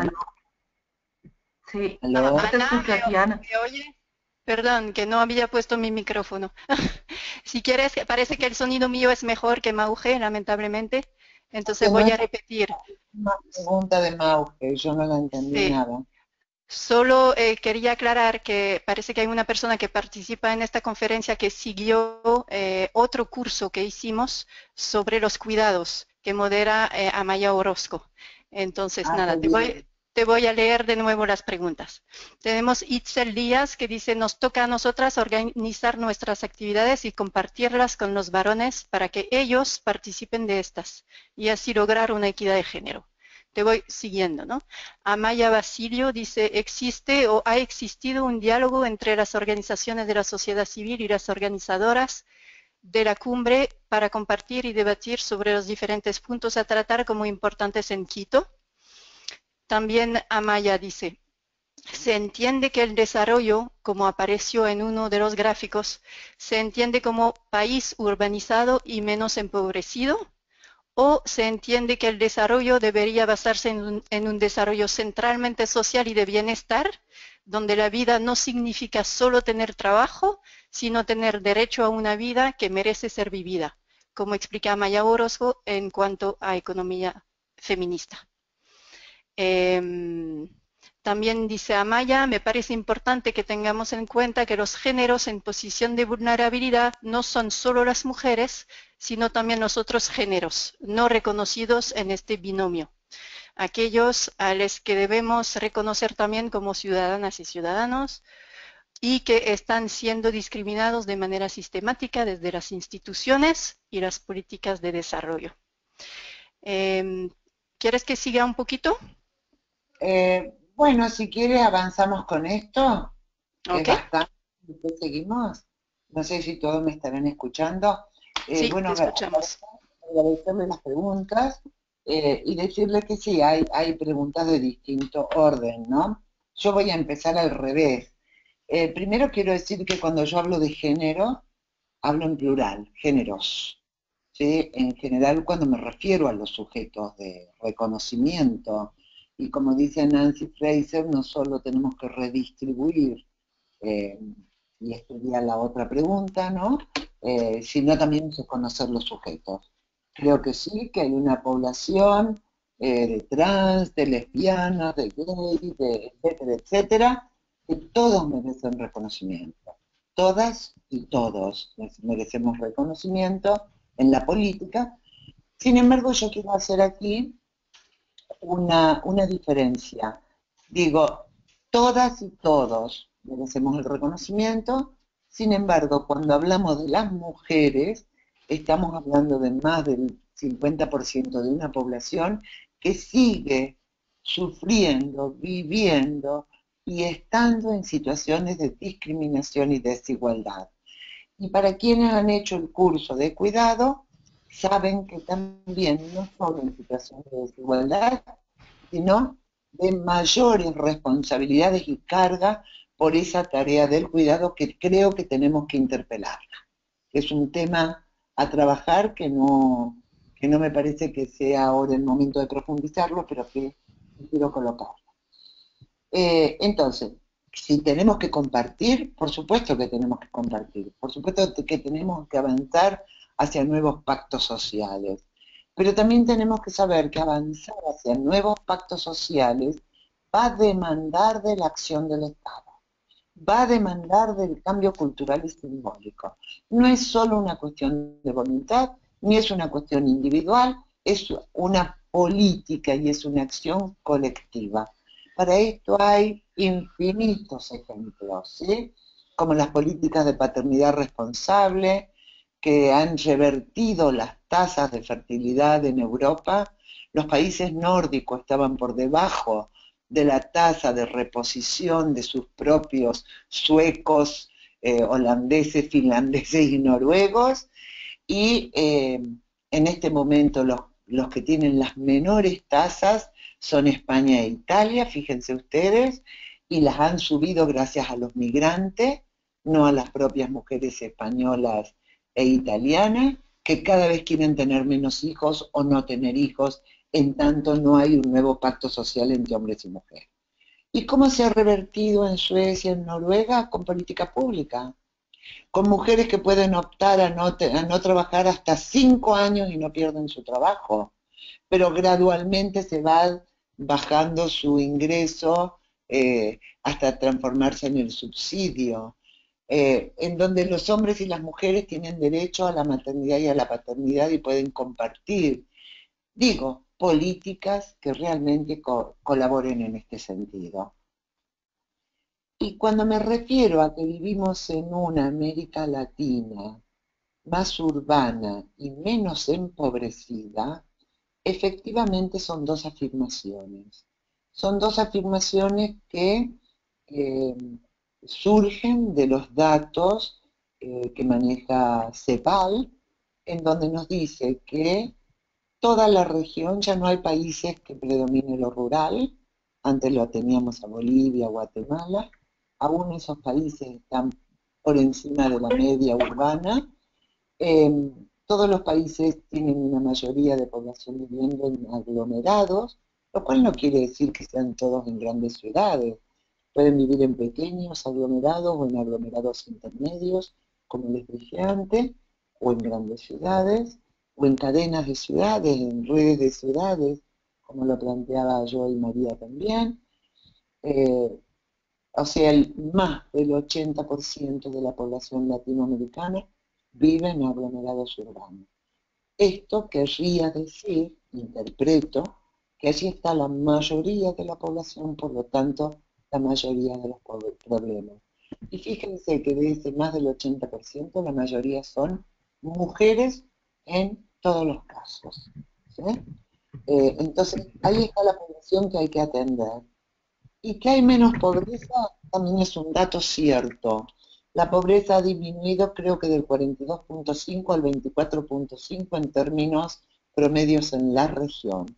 Hay países como Brasil que han logrado sacar 40 millones de sus 200 millones de habitantes de la pobreza. Sin embargo, las mujeres son, las, han crecido en la pobreza.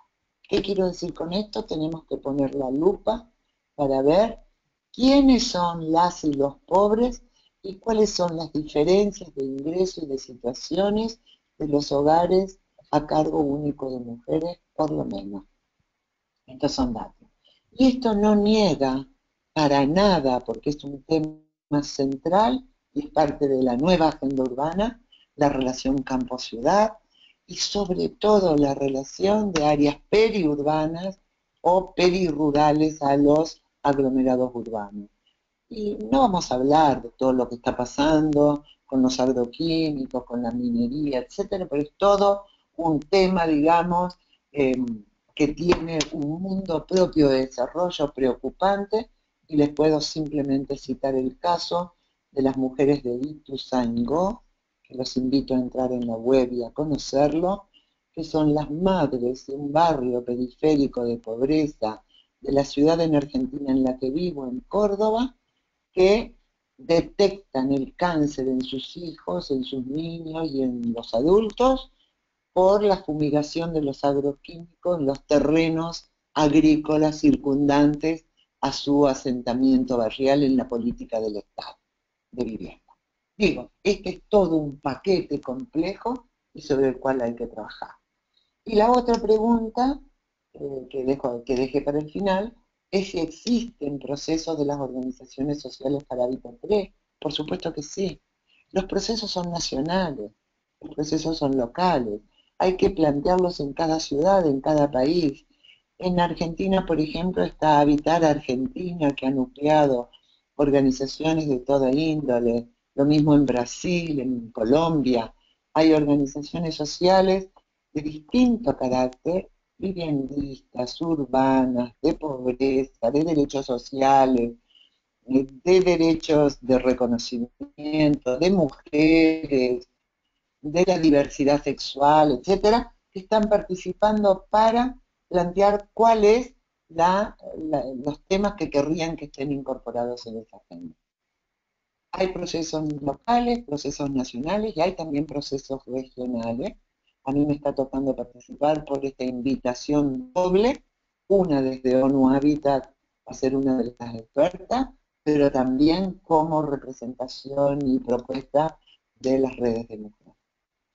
Y a ver, algo que quería completar es que por supuesto que el desarrollo, lo digo siempre, no significa ingresos ni se mide en riqueza o económicamente los derechos no se miden solo en ingreso, para quien planteó esto, ¿no?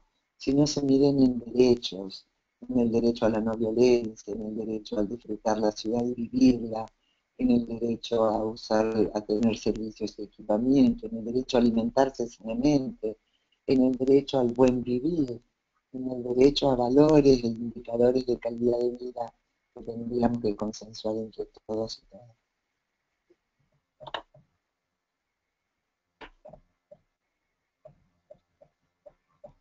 No ¿Aló, Ana? Sí, sí, ¿Quieres que siga? Por favor, por favor. Sí. Tenemos a Andrea Londoño, eh, que dice muchas gracias por la intervención y por la iniciativa de conferencia. Creo que es importante visibilizar y señalar también al colectivo de mujeres con discapacidad, que son la gran mayoría de las personas con discapacidad. Construir ciudades accesibles y sostenibles para las mujeres implicará hacerlas accesibles y sostenibles para mujeres con discapacidad. En muchas ocasiones, si conseguimos ciudades accesibles para las mujeres, que por lo tanto tengan en cuenta nuestro rol de cuidado, se avanzará en la accesibilidad de las mujeres con discapacidad. Te pregunta, ¿hay avances en este sentido? Sigo, ¿eh? Para tener un conjunto de, preguntas. Rosana Margarita Albicini nos dice, hola, soy Rosana, ¿qué nos puede manifestar Ana y sugerir para lectura acerca del colectivo de mujeres con discapacidades? Sería importante también adecuar estos cursos virtuales para ellas. esa es una pregunta para ti y para nosotras. Eh, también Angela Catrilev Santana Dice, excelente presentación de Ana, me sirve para reflexionar algunos temas. En el contexto de articulación de nuevas demandas en las ciudades, ¿cómo se está trabajando y o abordando la igualdad de género de las mujeres de pueblos originarios como habitantes de las ciudades?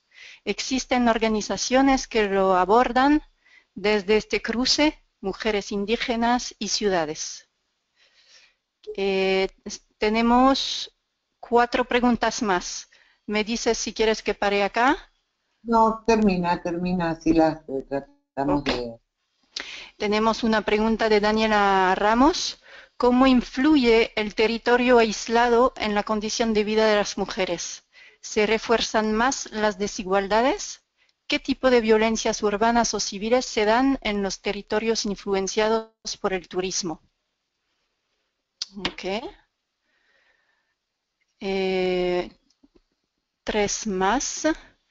Gabriel Felipe Márquez dice, ¿qué impacto cree que puede tener sobre la agenda de género de las ciudades las políticas de achicamiento del Estado que transitan algunos procesos políticos en Latinoamérica? Eh, después Felipe Roldán Hola, pregunta desde Colombia. ¿Cómo incluir las nuevas masculinidades en las políticas públicas locales, especialmente en municipios tradicionalmente machistas? ¿Cómo se llama? ¿Quién hace esa pregunta? Felipe Roldán desde Colombia. Felipe Roldán. Y vamos con la última. Sí. Eh, Aurea López cómo construir una red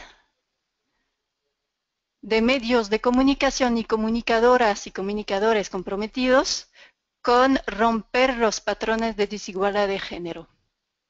Ah, y vienen otras preguntas más, pero te dejo, te dejo con estas. Hay algunas preguntas también relativas al curso como tal. Em, Para ustedes. Sí, entonces eso lo puedo aclarar al final. ¿Cómo no? Bueno, entonces, a ver, eh, voy, a, voy a tratar de... Lo del tema de las discapacidades, absolutamente. Esto sin duda. Y hay muchas contribuciones, sobre todo diría lamentablemente de los países más desarrollados, de las ciudades más ricas, ¿no? Que han logrado establecer, romper con todas las dificultades y los escollos que tienen nuestras ciudades eh, para eh, las discapacidades. Desde poner, por ejemplo, eh, eh, para las personas ciegas, capacidad en los semáforos para poder tocar y tener el braille y poder entender cómo funciona, a las rampas, a el tema de, de, los ascensores, etcétera, etcétera.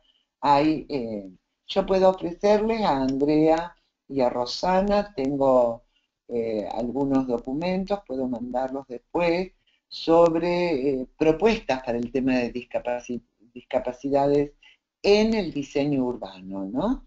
Y creo que hay muchos avances, sobre todo hay que buscar los avances en los países más desarrollados, por ejemplo en la política urbana de Holanda, de Suecia, no hay ninguna ciudad, ningún país nórdico incluso en España en este momento, que no se proyecte cualquier territorio eh, si no se considera el tema de las discapacidades. O sea, hay avances, hay material y es un tema central, sin duda. Y también decir eh, que coincido con lo que dice Andrea eh, Londoño, que cuando las mujeres tienen una discapacidad, tienen también una discriminación mayor y unas vulnerabilidades mayor, sobre todo con los temas de seguridad y de violencia, que existen en las ciudades y las violencias sobre las mujeres por el solo hecho de ser mujeres, cuando estas mujeres tienen mayor vulnerabilidad es peor. Daniela Ramos, que plantea, eh, perdón, Ángela, Ángela, muchas gracias por tu comentario, Ángela.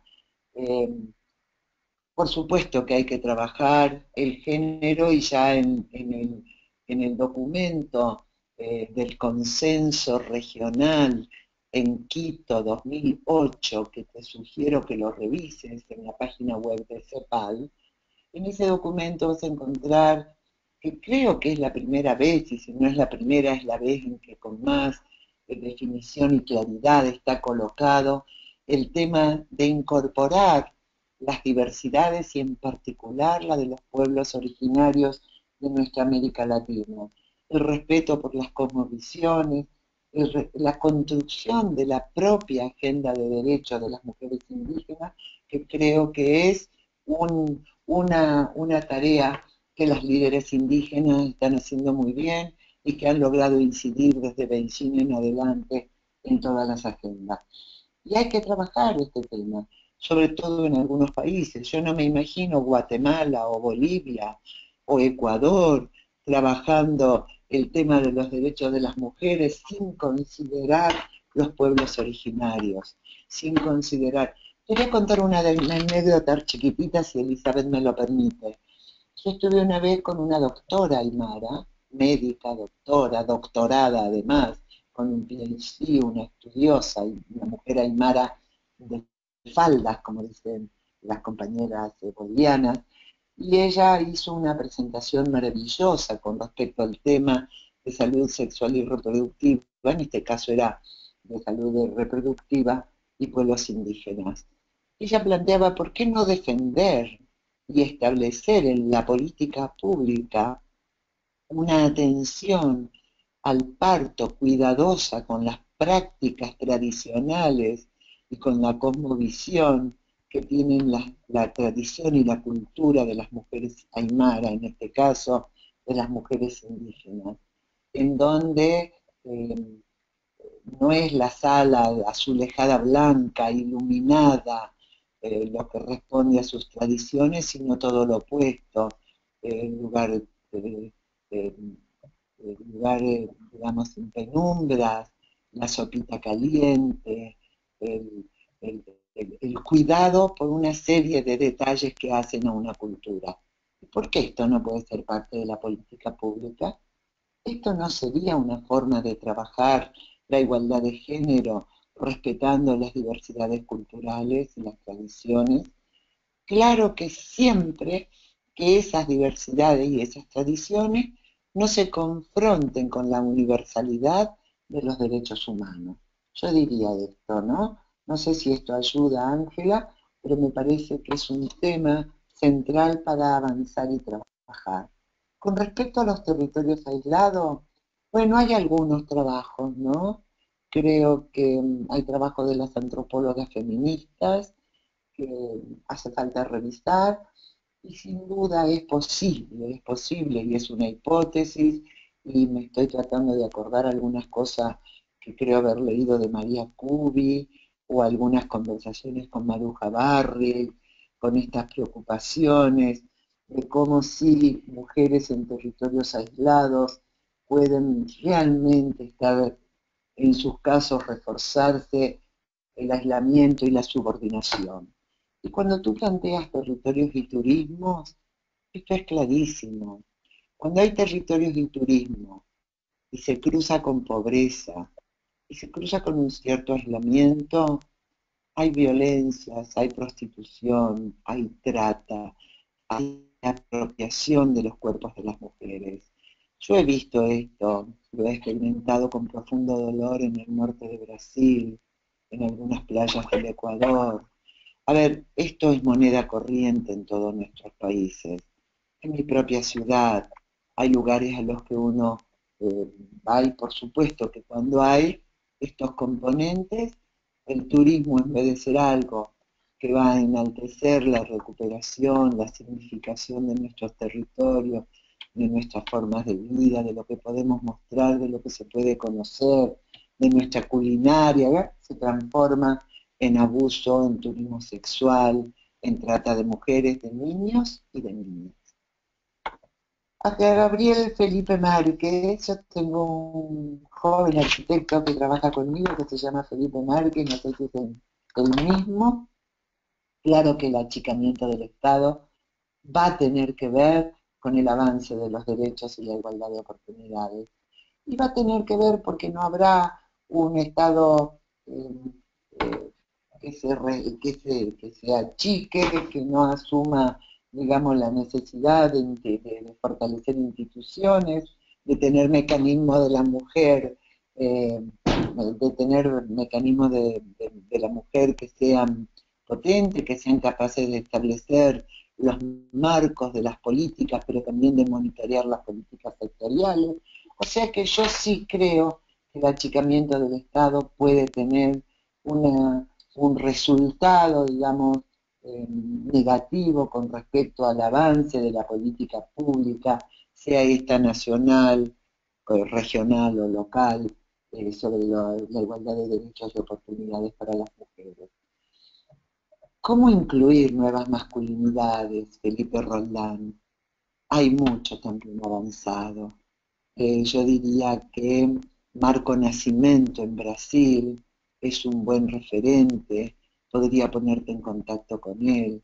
Em, creo que los brasileros, los chilenos, los mexicanos, los canadienses, para citar algunos de nuestra América, eh, están haciendo avances muy interesantes y están contribuyendo a una nueva construcción de masculinidades, de respeto a la diversidad y a las diferencias de géneros, sobre todo a trabajar en la en la necesidad del derecho a una vida sin violencia como el derecho básico que va a poder garantizar y empoderar a las mujeres para avanzar en otros, eh, creo que hay que incluirlo en la agenda. Ahora, cuando se incluyen las nuevas masculinidades como centro de la agenda, ¿sí?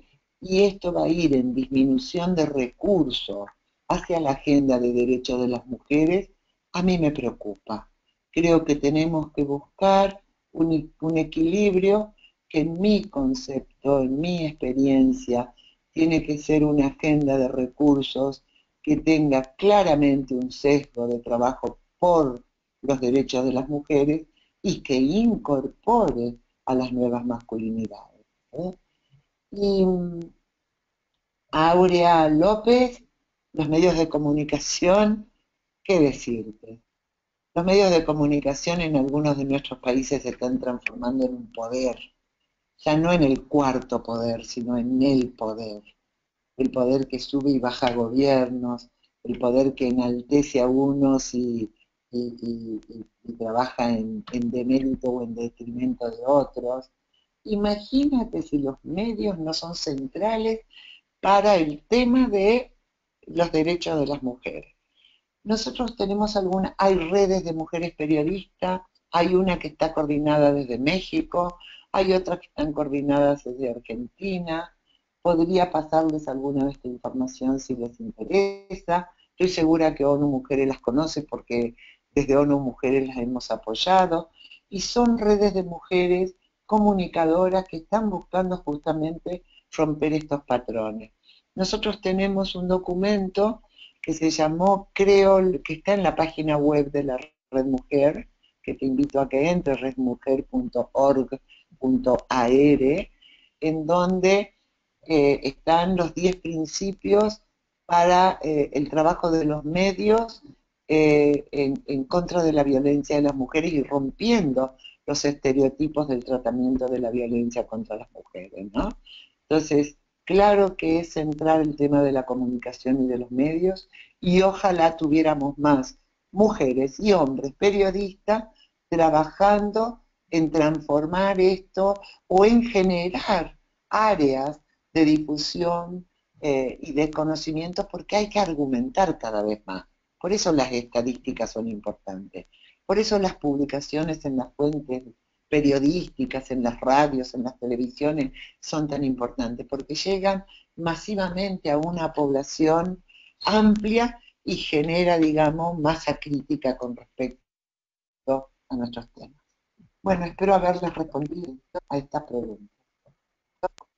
Bueno, Ana, mientras hablabas, tenemos, hemos tenido dos preguntas más. Una que es para ti, es, eh, ¿pueden confirmar la fecha de la reunión regional LAC en México? Sí.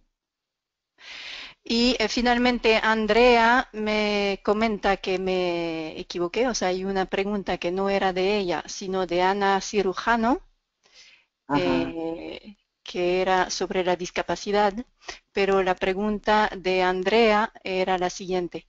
Em, comparto la preocupación de las mujeres es en, en Antioquia, perdón, Colombia, por el hecho de que el nuevo gobierno departamental lleva más de un mes sin nombrar Secretaría de la Mujer en firme. Nuestra sospecha es que el tema de la equidad e igualdad de género no es entendido aún como un problema estructural de la pobreza y de la democracia. Las organizaciones de mujeres nos hemos pronunciado pero agradecemos lo que nos puede ayudar con incidencia externa para que se entienda la urgencia de esta decisión y la importancia de los programas de mujer. Y muchas gracias por la claridad de los conceptos de Ana Falú y gracias por su trabajo por nosotras. Ay, qué hermosa es Andrea que la conozco. Son una maravilla estas mujeres tan fantásticas, estas colombianas.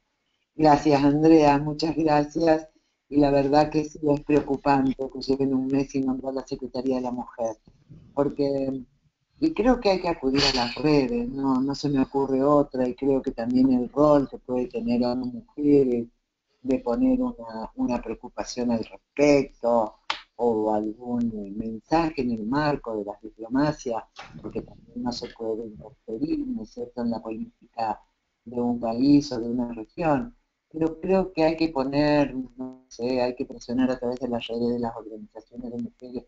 Por eso la importancia de las organizaciones territoriales, la importancia de la articulación en redes, de las periodistas, de los artistas, de las militantes, de los distintos grupos que tenemos que tener agendas comunes para esto. Sin duda, eh, Andrea, eh, estoy segura que todavía falta muchísimo, muchísimo para entender la importancia de la igualdad de géneros en avanzar por sobre el desafío de la pobreza y la desigualdad sobre todo, ¿sí? y poder afianzar la democracia en América Latina.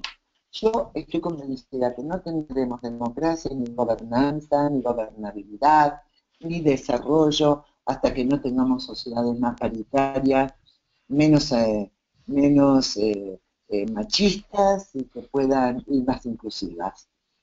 Y con respecto a la fecha de la reunión en Toluca, México, se ha movido, era el 14 de abril y ahora va a ser del 18 al 20, creo. De todas maneras, está en la página web de ONU Habitat, de ONU Habitat 3, conferencia, así que, que es muy fácil ubicarla, pero estoy segura que es del 18 al 20 de abril. Y ojalá nos veamos allá y ojalá podamos realizar muchas actividades dentro de la conferencia, paralelas a la conferencia. Y yo les dejaría, en el marco de la misma preocupación de Andrea Londoño, la preocupación de que ustedes sean agentes de presión para que las mujeres estén no solo en los, en los eventos paralelos o en las mesas de géneros o en las mesas de derechos de la mujer, sino dentro de las mesas y los paneles principales, en cualquier evento, de cualquier naturaleza y de cualquier política sectorial, y en este caso en la conferencia de Hábitat, debatiendo los temas centrales, en las mesas centrales, colocando el tema, nuestros temas de la igualdad de género. Muchísimas gracias a todas y espero, les agradezco la atención, las preguntas, agradezco a Elizabeth, agradezco a la querida María, Arboleda, a Maue y a todos eh, los que han hecho posible esta conferencia y, también a Dejan que está haciendo todo el soporte técnico. Muchísimas gracias y bueno, ya tendremos otras oportunidades. Espero que sí. Ana, muchísimas gracias. Eh, como decía, también hay preguntas relativas a, primero a tu eh, exposición, ¿no? Entonces, eh, respondí en el foro que esta webconferencia fue grabada y que gentilmente nos autorizas a, a ponerla en nuestro campus. ¿Me confirmas, Ana? Es así, es así. así que... el único pedido es que quienes usen los contenidos de la conferencia, por favor los citen, porque yo tengo allí muchos datos que citados de otras fuentes, y entonces me gusta que se sea cuidadoso con ese tema.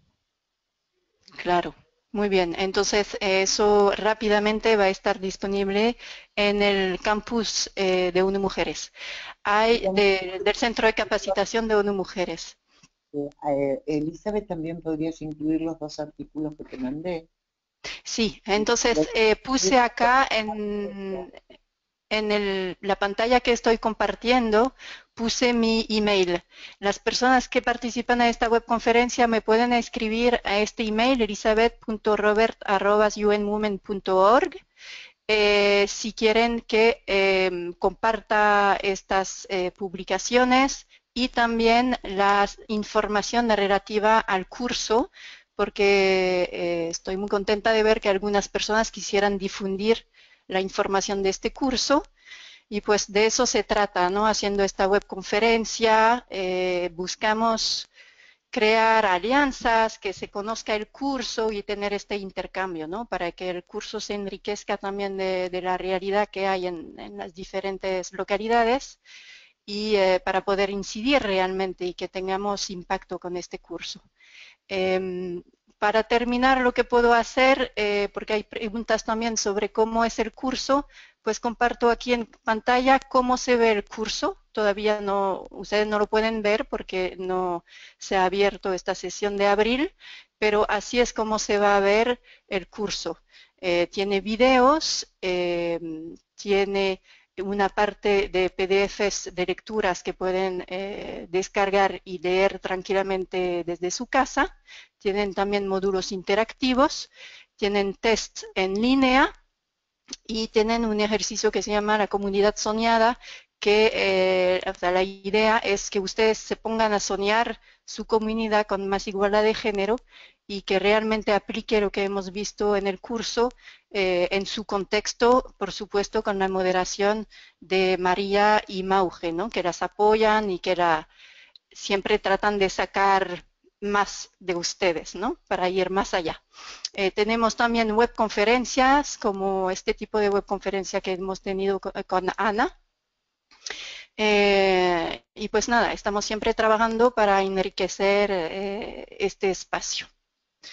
Eh, por favor, no duden en escribirme, entonces si tienen más preguntas, les puedo compartir un volante, les puedo compartir una infografía, eh, toda la información que necesiten, también sobre eh, la forma de pago, el, pago, las becas, etcétera. Nosotras estamos más que felices de, mm, estar en contacto con ustedes y ver si a nivel de su organización pueden, por ejemplo, inscribirse varias personas porque pensamos que con tener grupos, pues la incidencia puede ser mayor.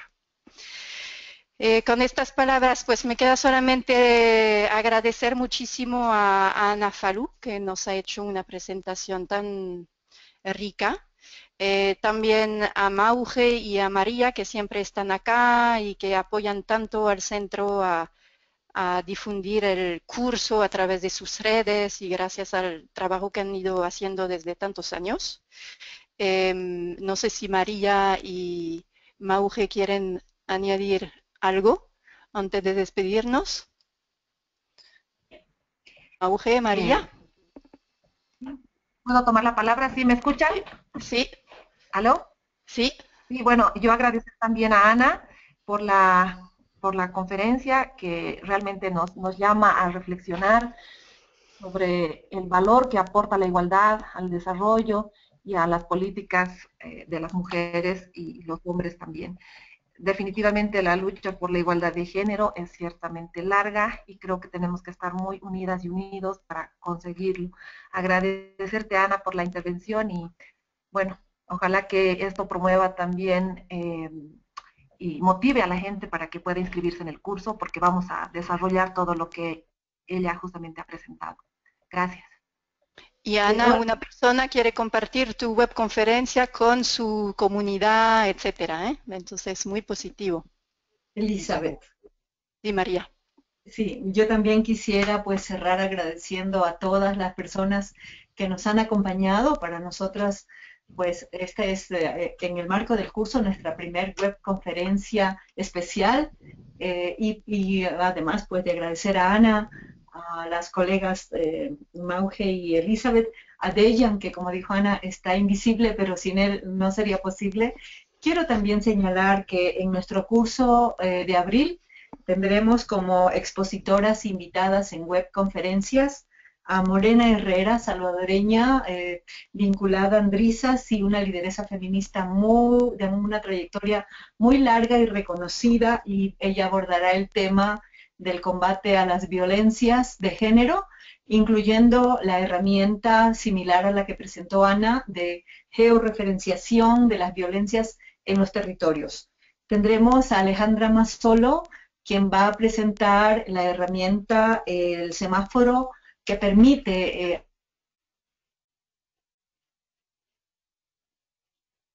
cómo están sus políticas públicas en relación con la igualdad. Y finalmente tendremos a Patricia González Viñoli, quien es coordinadora ejecutiva de la Secretaría de la Mujer de la Intendencia Municipal de Montevideo, quien nos va a contar esa larga trayectoria y, fructífera trayectoria que tiene la Intendencia Municipal de Montevideo, más de 20 años ya, construyendo día a día políticas de igualdad eh, una experiencia en la que Ana también ha aportado desde esas épocas. Y pues muchísimas gracias a todas y todos y por espero ver, vernos en el curso, que es muy inspirador también para quienes estamos en la moderación y en la construcción, en la coordinación, porque nos enseña cada vez más. Que tengan un buen día. Adiós, buen día a todos y a todas. muchísimas gracias, gracias por esta invitación y seguimos colaborando. Bye, bye. Bye. Bye.